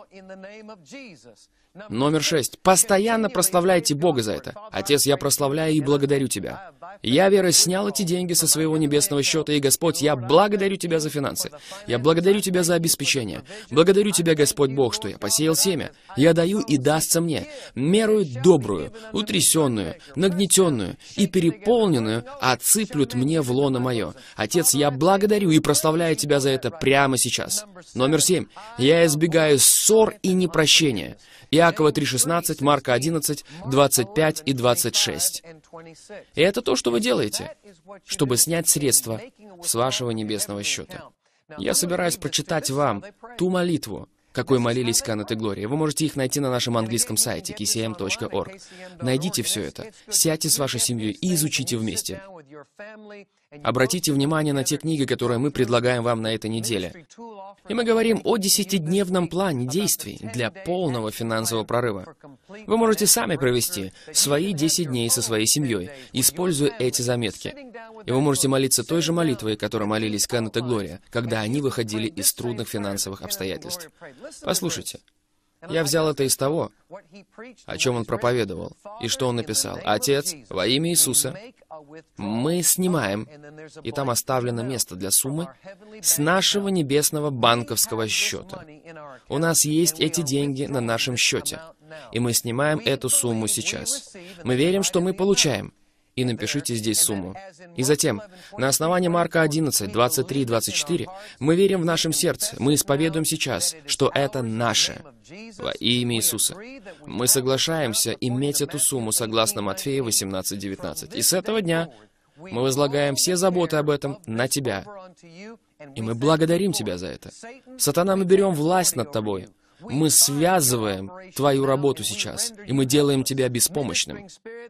Служебные духи, ангелы, мы приказываем вам идти и приносить к нам эту сумму, согласно посланию к евреям 1.14. И, Отец, мы прославляем Твое имя за восполнение наших нужд по богатству Твоему в славе, Христом Иисусом, и за умножение нашего семени для сеяния во имя Иисуса. Вот молитва, которой они молились. Вот тот путь, которым они прошли. И я вдохновляю вас. Воспользуйтесь всеми этими материалами. Объявите вашему мужу. Просто скажите ему, завтра мы начинаем 10 дней процветания в этом доме. И мы берем книги брата и сестры Копланд, берем заметки пастора Джорджи, и будем сидеть вместе, изучать это и погружаться в это. Вместо того, чтобы смотреть всю ночь телевизор, мы будем проводить наше собственное служение дома. Мы будем изучать эти материалы, мы будем молиться, мы будем искать Господа, и мы увидим, как Бог действует для нас. У вас есть счет на небесах. И очень многие не осознают, что Он есть там. Но слава Богу, теперь вы осознаете. Вы знаете, что Он там есть. И у вас есть полное право участвовать в том, что у Бога есть для вас на этом счете. Слава Богу!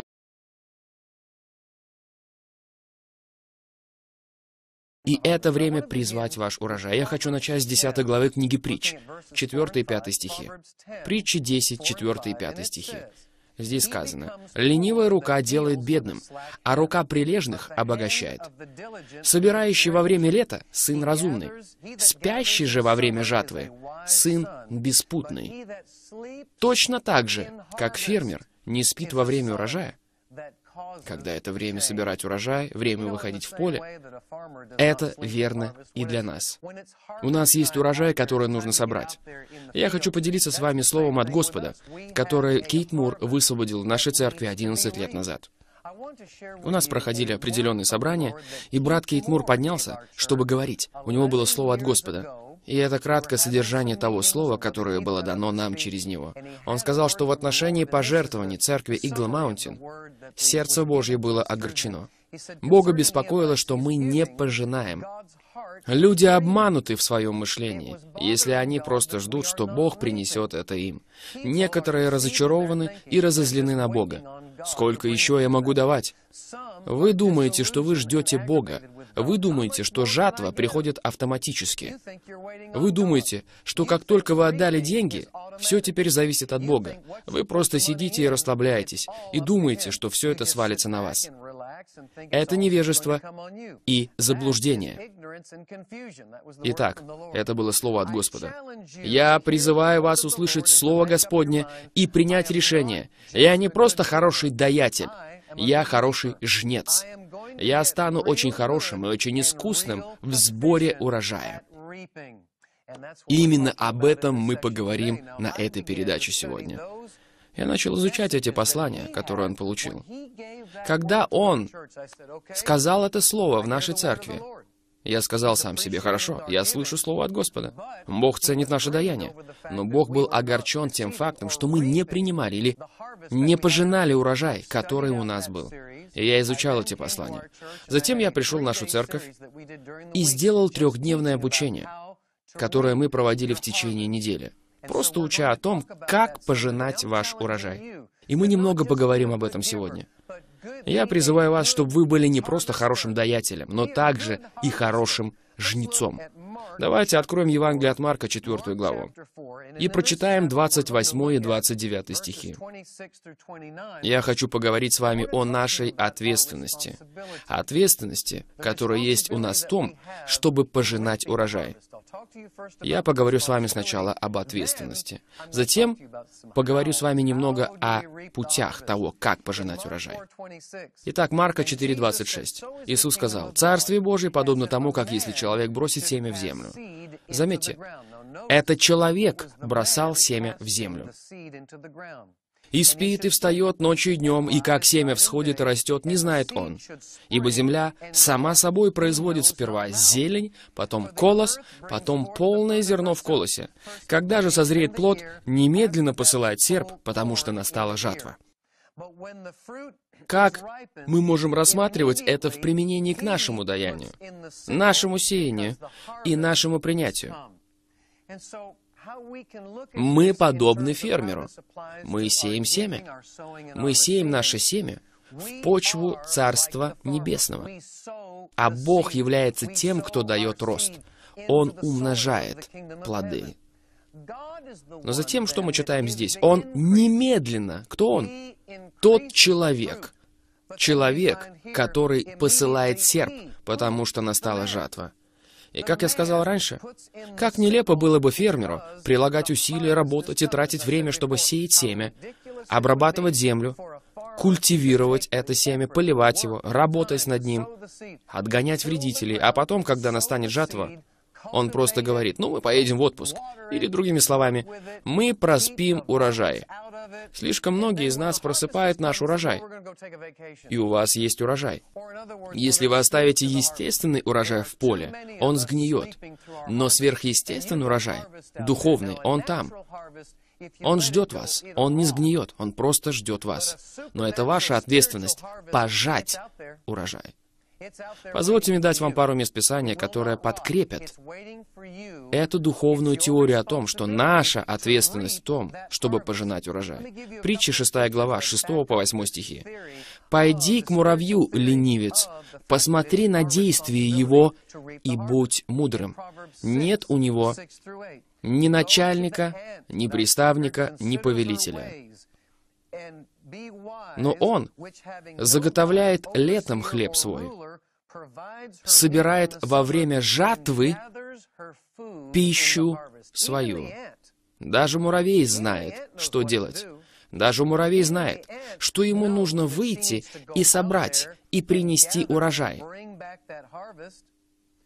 Вот еще одно место Писания. Галатам 6 глава, 7 по 9 стихи.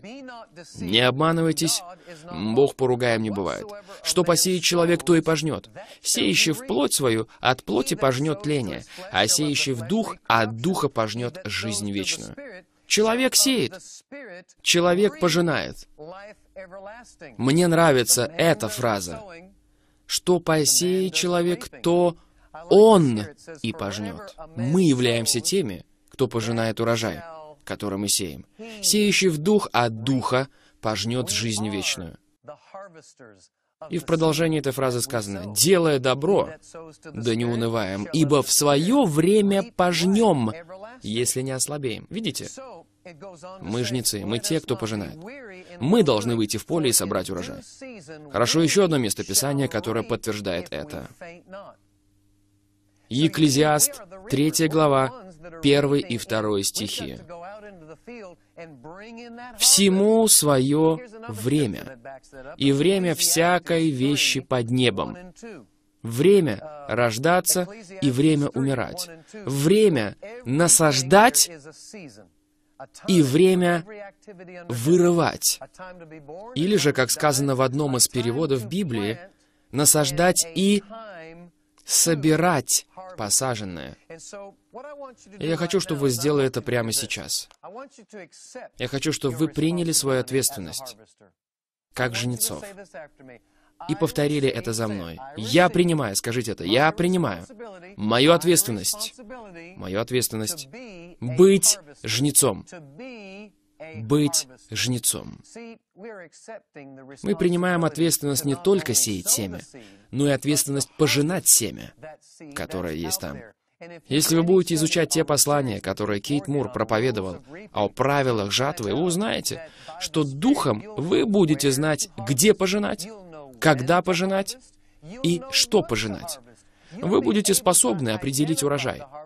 Фактически, когда вы увидите, как это приходит в вашу семью, вы скажете, это мой урожай, это мой урожай. И вам нужно начать готовить себя, чтобы когда вы увидите приходящий урожай, вы сказали, это мой урожай. Это мой урожай. И вы станете не только настроенными на сеяние, но вы станете также настроенными на жатву. Бог хочет, чтобы мы были хорошими сеятелями. Но знаете что? Он хочет, чтобы мы были также хорошими жнецами. Давайте поговорим о том, как собирать урожай. Как мы собираем урожай? Позвольте мне прочитать кое-что еще, чем брат Кит Мур поделился в правилах жатвы. Он делился небольшой историей. У одного проповедника были финансовые трудности. И физически он был здоров и силен. На его служениях проявлялась великая сила Божья. Служение возрастало. Единственной сферой проблем была финансовая сфера. И он уделил время тому, чтобы поститься и молиться об этом, и искал Господа, чтобы узнать, почему, что происходит с финансами. И Господь сказал ему, что он не был в вере в отношении своих финансов.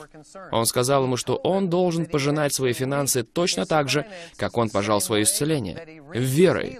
Итак, номер один — для того, чтобы пожать ваш урожай, вы должны сделать это верой. Вам придется сделать это верой. Но что касается веры, есть путь того, как мы пожинаем урожай. И это так восхитительно для меня. Я очень жду, чтобы приступить к этому. Но это путь того, как пожинать урожай. И он согласуется с Писанием. Посмотрите 41 главу книги пророка Исаия, 15 стих. И мы узнаем сегодня, как именно пожинать этот урожай. Мы будем призывать его. Мы будем призывать его. Знаете, в миссии Кеннета Копленда наш бухгалтерский отдел дал мне некоторую информацию. И я узнал, что с 2007 года миссия Кеннета Копленда посеяла как вы знаете, мы отделяем 10% всех доходов, которые приходят в служение, и это идет на то, чтобы служить тем, кто не может сам услышать Евангелие. Мы сеем это в служение по всему миру, которое доносит Слово Божье другим людям. И это пришло в результате молитвы, когда брат Копланд молился в молитвенном домике, когда годы тому назад он оказался в такой ситуации, когда служение было должно миллион долларов. И он обратился тогда к Господу и сказал, «Господь, Есть долг в миллион долларов.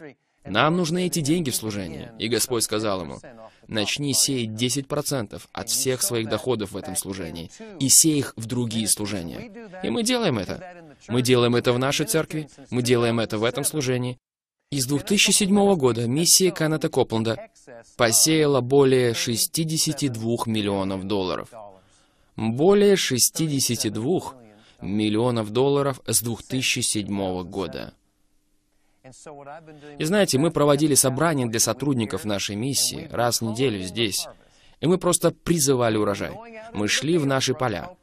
Брат Копланд и мы пожинали этот урожай. Мы просто призывали этот урожай. И вы можете делать то же самое. Являетесь ли вы даятелем, сеятелем, отделяете ли вы десятину, тогда вы можете призывать свой урожай. Но как мы можем это делать? Исайя 41.15. Послушайте. Вот, то есть смотрите, вот, я сделал тебя острым молотилом, новым, зубчатым. Ты будешь молотить и растирать горы, и холмы сделаешь, как Микину. Господь сказал, «Я сделаю тебя острым молотилом, новым, зубчатым. Знаете что? В моей Библии, в сноске, есть перевод с иврита, слово «зубчатый». И перевод этого слова «зубчатый» говорит об устах. Об устах. «Я сделаю тебя новым острым молотилом с устами». Итак, мы пожинаем наш урожай при помощи слов наших уст. В наших устах есть меч Духа. И когда мы орудуем мечом Духа, мы выходим в наши поля и пожинаем свой урожай. Наши уста пожинают все, что они говорят. И Господь дал нам новый острый инструмент для жатвы, который называется наши уста. Вы пожинаете свой урожай словами веры. И я знаю, что у нас, как у миссии Каната Копленда и у церкви Игл Маунтин, есть урожай. И что мы делаем на этом собрании для наших сотрудников? Мы говорим, урожай, приходи к нам во имя Иисуса. Мы приказываем прийти урожаю этих 62 миллионов долларов, которые миссия Каната Копленда посеяла в поля. И урожай, приходи к нам во имя Иисуса. И затем мы действуем на основании нашей веры. И видим, как урожай приходит. Мы видим, как он приходит. Мы в духе. Мы там. Все сотрудники миссии Канета Копленда. Мы все в этих огромных комбайнах, там, на огромном поле, с урожаем миссии Канета Копленда. И мы собираем финансы, которые у Бога есть для нас. И послушайте, в Евангелии от Матфея 13.39 сказано, что жнецы — это ангелы. И это хорошая часть. Знаете, что мы делаем?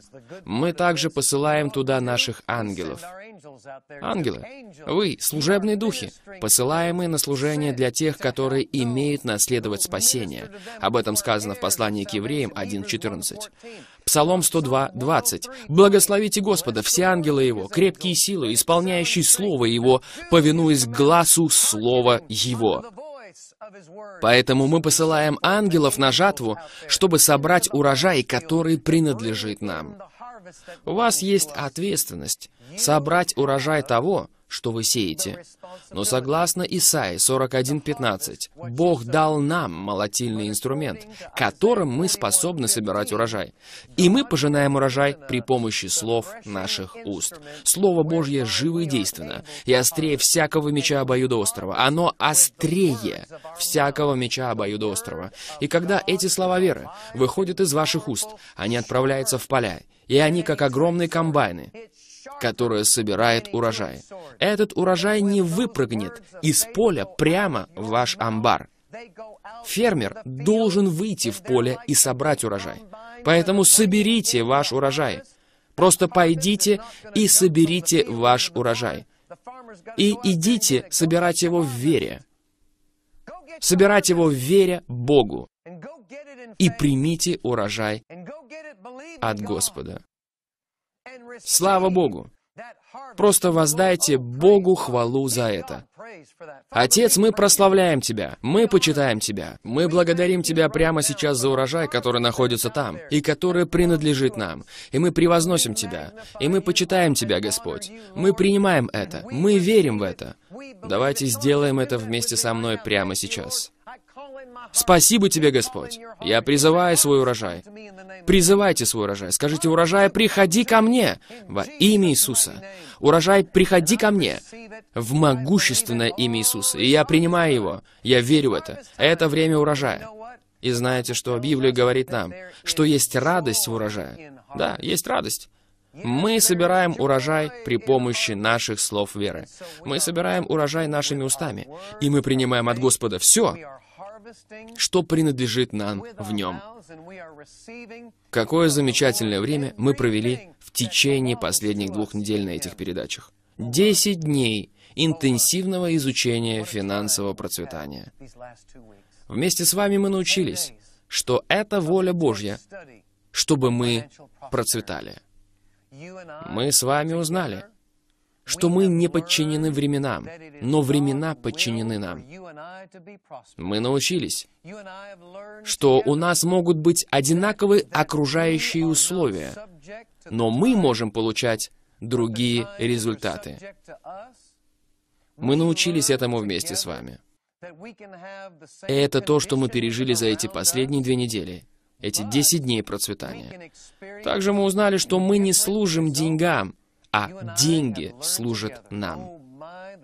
Мы же служим Богу, и мы не контролируемы деньгами. Деньги не диктуют нам. Мы научились за эти 10 дней процветания, что у нас есть сверхъестественное обеспечение, которое доступно нам. Обеспечение, которое приходит из более высокого места и более высоким путем. И мы не ограничены зарплатой. Слава Богу за зарплату, но мы ей не ограничены. У Бога есть сверхъестественные пути, как принести это обеспечение нам. Чему мы еще научились на этих десяти днях процветания? Мы научились тому, что мы можем переживать сверхъестественное погашение долгов. Слава Богу за это! Сверхъестественное погашение долгов. Я провозглашаю это в отношении вас прямо сейчас, во имя Иисуса. Я утверждаю, я провозглашаю сверхъестественное погашение долгов в вашей жизни. У Бога есть пути. Он принесет вам финансы. Он сократит долг, и потом совсем уберет его. Он приведет людей в вашу жизнь, которые выплатят этот долг. И также мы научились, что нам нужно призывать наш урожай. Призывайте этот урожай. Собирайте его. Но знаете, самое важное, чему мы могли научиться за эти 10 дней процветания, это то, что настоящее процветание — это способность использовать силу Божью для того, чтобы восполнять нужды человечества в каждой сфере жизни, в духе, душе, теле, в финансах, в обществе. Мы с вами благословлены с одной целью — быть благословением для человечества. Не для того, чтобы мы запасали и копили, но мы ходим в сверхъестественном процветании, чтобы мы были благословением, чтобы мы давали. Очень много раз было так, что Господь говорил пастору Терри и мне. И от нашего изобилия и того, что Бог дал нам, Он обращался к нам и говорил, «Джордж, Терри, помогите этому человеку там. Будьте благословением для этого служения вот там». Господь говорил к нам с Терри о служении нуждам других. И это радость. Вот почему мы процветаем. Вот для чего Бог призвал нас процветать. И знаете, первый уровень этого, чтобы ваши нужды были восполнены, и чтобы ваша семья стала стабильной. Вторая часть этого, это когда вы начинаете переживать изобилие так, что вы способны пойти туда и благословить других людей, и перевести свои мысли с самих себя на кого-то еще. И Господь говорил нам с Терри так много раз о том, чтобы помогать другим людям и протягивать руку помощи другим людям. И в конечном счете, это процветание приносит благодарение Богу, потому что люди, которые являются получателями Его благости, которую мы даем друг другу, они воздают Богу хвалу и благодарение за все, что Он сделал. И я верю, что мы можем подвести сейчас итог этих десяти дней процветания. Бог хочет дать вам процветание, чтобы вы могли быть символом процветания и благословением для других. Отец, мы благодарим Тебя, мы почитаем Тебя, мы прославляем Тебя, что Ты сделал нас символом процветания, так что мы можем быть процветанием для других людей на этой земле и быть отражением Господа Иисуса Христа в жизни других людей. Это сердце всего этого. Вот сердце процветания. Вот сердце этого служения. Вот из чего исходит Кеннет и Глория. Вот из чего исхожу я. Вот из чего исходите вы. Достигать в любви.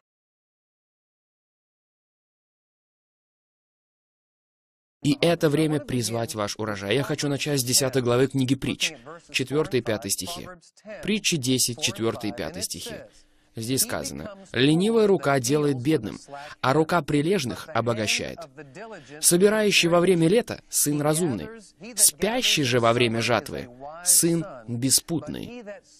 Точно так же, как фермер не спит во время урожая, когда это время собирать урожай, время выходить в поле, это верно и для нас. У нас есть урожай, который нужно собрать. Я хочу поделиться с вами словом от Господа, которое Кейт Мур высвободил в нашей церкви 11 лет назад. У нас проходили определенные собрания, и брат Кейт Мур поднялся, чтобы говорить. У него было слово от Господа. И это краткое содержание того слова, которое было дано нам через него. Он сказал, что в отношении пожертвований церкви Игл Маунтин сердце Божье было огорчено. Бога беспокоило, что мы не пожинаем. Люди обмануты в своем мышлении, если они просто ждут, что Бог принесет это им. Некоторые разочарованы и разозлены на Бога. Сколько еще я могу давать? Вы думаете, что вы ждете Бога, вы думаете, что жатва приходит автоматически. Вы думаете, что как только вы отдали деньги, все теперь зависит от Бога. Вы просто сидите и расслабляетесь, и думаете, что все это свалится на вас. Это невежество и заблуждение. Итак, это было слово от Господа. «Я призываю вас услышать Слово Господне и принять решение. Я не просто хороший даятель, я хороший жнец. Я стану очень хорошим и очень искусным в сборе урожая. Именно об этом мы поговорим на этой передаче сегодня. Я начал изучать эти послания, которые он получил. Когда он сказал это слово в нашей церкви, я сказал сам себе, хорошо, я слышу слово от Господа. Бог ценит наше даяние. Но Бог был огорчен тем фактом, что мы не принимали или не пожинали урожай, который у нас был. И я изучал эти послания. Затем я пришел в нашу церковь и сделал трехдневное обучение, которое мы проводили в течение недели, просто уча о том, как пожинать ваш урожай. И мы немного поговорим об этом сегодня. Я призываю вас, чтобы вы были не просто хорошим даятелем, но также и хорошим жнецом. Давайте откроем Евангелие от Марка, 4 главу, и прочитаем 28 и 29 стихи. Я хочу поговорить с вами о нашей ответственности. Ответственности, которая есть у нас в том, чтобы пожинать урожай. Я поговорю с вами сначала об ответственности. Затем поговорю с вами немного о путях того, как пожинать урожай. Итак, Марка 4.26. Иисус сказал, «Царствие Божие подобно тому, как если человек бросит семя в землю». Заметьте, это человек бросал семя в землю и спит, и встает ночью и днем, и как семя всходит и растет, не знает он. Ибо земля сама собой производит сперва зелень, потом колос, потом полное зерно в колосе. Когда же созреет плод, немедленно посылает серп, потому что настала жатва. Как мы можем рассматривать это в применении к нашему даянию, нашему сеянию и нашему принятию? Мы подобны фермеру. Мы сеем семя. Мы сеем наше семя в почву Царства Небесного. А Бог является тем, кто дает рост. Он умножает плоды. Но затем, что мы читаем здесь? Он немедленно, кто он? Тот человек, человек, который посылает серп, потому что настала жатва. И как я сказал раньше, как нелепо было бы фермеру прилагать усилия, работать и тратить время, чтобы сеять семя, обрабатывать землю, культивировать это семя, поливать его, работать над ним, отгонять вредителей, а потом, когда настанет жатва, он просто говорит, ну, мы поедем в отпуск. Или, другими словами, мы проспим урожай. Слишком многие из нас просыпают наш урожай. И у вас есть урожай. Если вы оставите естественный урожай в поле, он сгниет. Но сверхъестественный урожай, духовный, он там. Он ждет вас. Он не сгниет. Он просто ждет вас. Но это ваша ответственность — пожать урожай. Позвольте мне дать вам пару мест Писания, которые подкрепят эту духовную теорию о том, что наша ответственность в том, чтобы пожинать урожай. Притча 6 глава, 6 по 8 стихи. «Пойди к муравью, ленивец, посмотри на действие его и будь мудрым. Нет у него ни начальника, ни приставника, ни повелителя. Но он заготовляет летом хлеб свой, собирает во время жатвы пищу свою. Даже муравей знает, что делать. Даже муравей знает, что ему нужно выйти и собрать, и принести урожай. Вот еще одно место Писания. Галатам 6 глава, 7 по 9 стихи. «Не обманывайтесь, Бог поругаем не бывает. Что посеет человек, то и пожнет. Сеющий в плоть свою, от плоти пожнет тление, а сеющий в дух, от духа пожнет жизнь вечную». Человек сеет, человек пожинает. Мне нравится эта фраза. Что посеет человек, то он и пожнет. Мы являемся теми, кто пожинает урожай, который мы сеем. Сеющий в дух от духа пожнет жизнь вечную. И в продолжении этой фразы сказано, «Делая добро, да не унываем, ибо в свое время пожнем, если не ослабеем». Видите? Мы жнецы, мы те, кто пожинает. Мы должны выйти в поле и собрать урожай. Хорошо, еще одно место Писания, которое подтверждает это.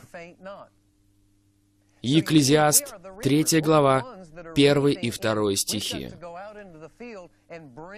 «Всему свое время, и время всякой вещи под небом, время рождаться и время умирать, время насаждать и время вырывать.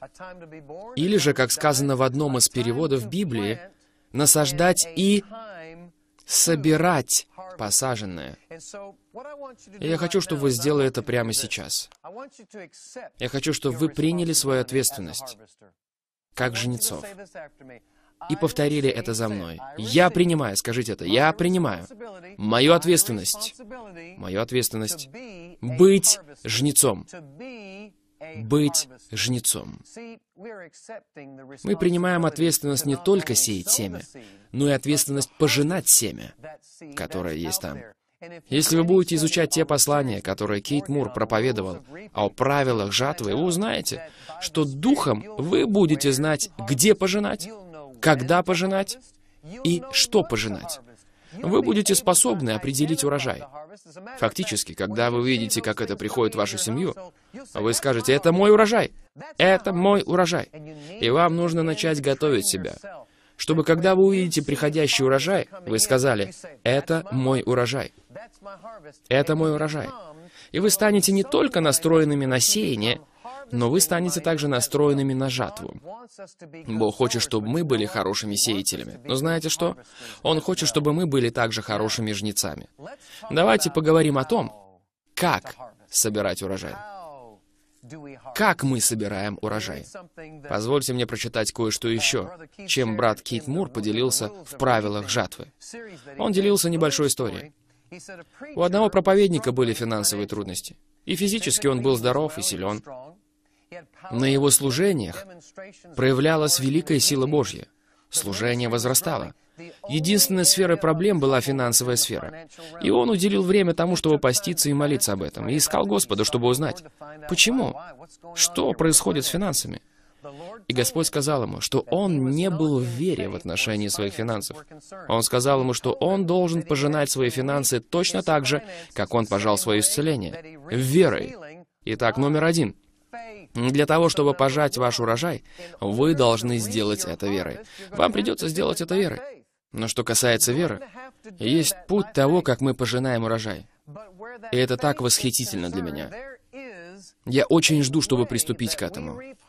Но это путь того, как пожинать урожай. И он согласуется с Писанием. Посмотрите 41 главу книги пророка Исаия, 15 стих. И мы узнаем сегодня, как именно пожинать этот урожай. Мы будем призывать его. Мы будем призывать его. Знаете, в миссии Кеннета Копленда наш бухгалтерский отдел дал мне некоторую информацию. И я узнал, что с 2007 года миссия Кеннета Копленда посеяла как вы знаете, мы отделяем 10% всех доходов, которые приходят в служение, и это идет на то, чтобы служить тем, кто не может сам услышать Евангелие. Мы сеем это в служение по всему миру, которое доносит Слово Божье другим людям. И это пришло в результате молитвы, когда брат Копланд молился в молитвенном домике, когда годы тому назад он оказался в такой ситуации, когда служение было должно миллион долларов. И он обратился тогда к Господу и сказал, «Господь, есть долг в миллион долларов. Нам нужны эти деньги в служении». И Господь сказал ему, «Начни сеять 10% от всех своих доходов в этом служении и сей их в другие служения». И мы делаем это. Мы делаем это в нашей церкви, мы делаем это в этом служении. И с 2007 года миссия Каната Копленда посеяла более 62 миллионов долларов. Более 62 миллионов долларов с 2007 года. И знаете, мы проводили собрания для сотрудников нашей миссии раз в неделю здесь. И мы просто призывали урожай. Мы шли в наши поля. Брат Копланд и мы пожинали этот урожай. Мы просто призывали этот урожай. И вы можете делать то же самое. Являетесь ли вы даятелем, сеятелем, отделяете ли вы десятину, Тогда вы можете призывать свой урожай. Но как мы можем это делать? Исайя 41.15. Послушайте. Вот. То есть смотрите. Вот. Я сделал тебя острым молотилом, новым, зубчатым. Ты будешь молотить и растирать горы, и холмы сделаешь, как мекину.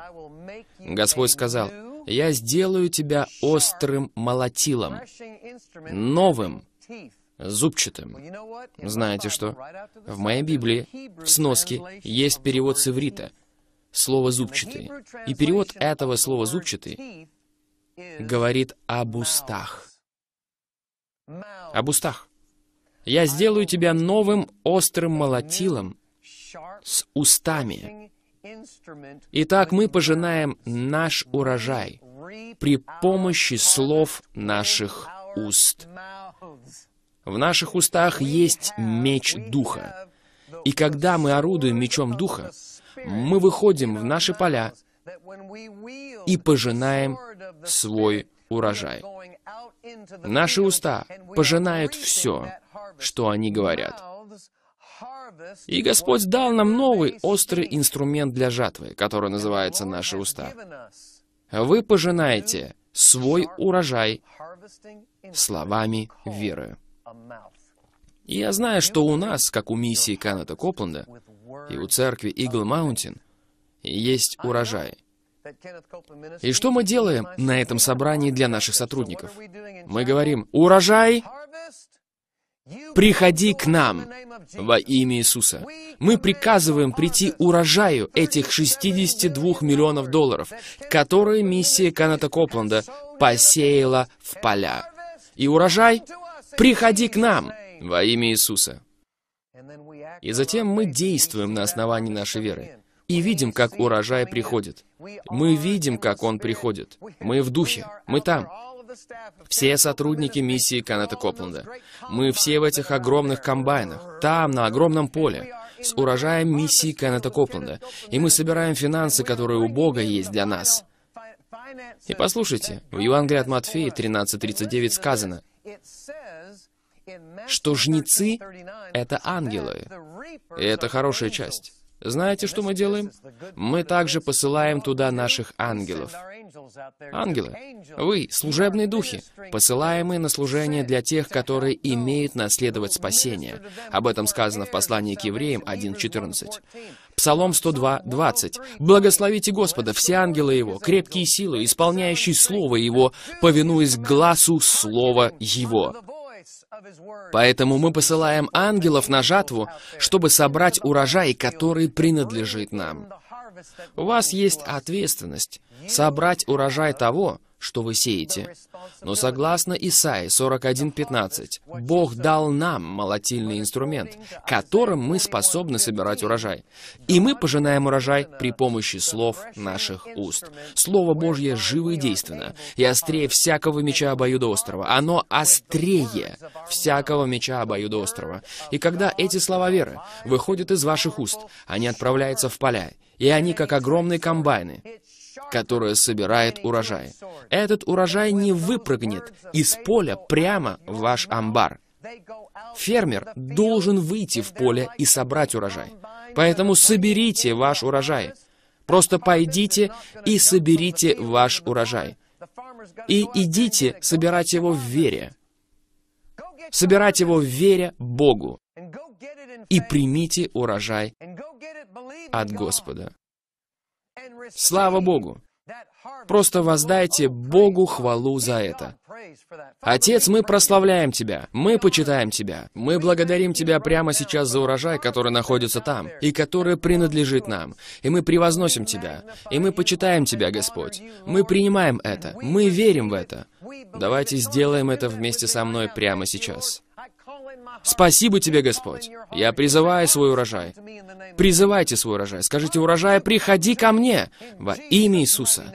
Урожай, приходи ко мне в могущественное имя Иисуса. И я принимаю его. Я верю в это. Это время урожая. И знаете, что Библия говорит нам? Что есть радость в урожае. Да, есть радость. Мы собираем урожай при помощи наших слов веры.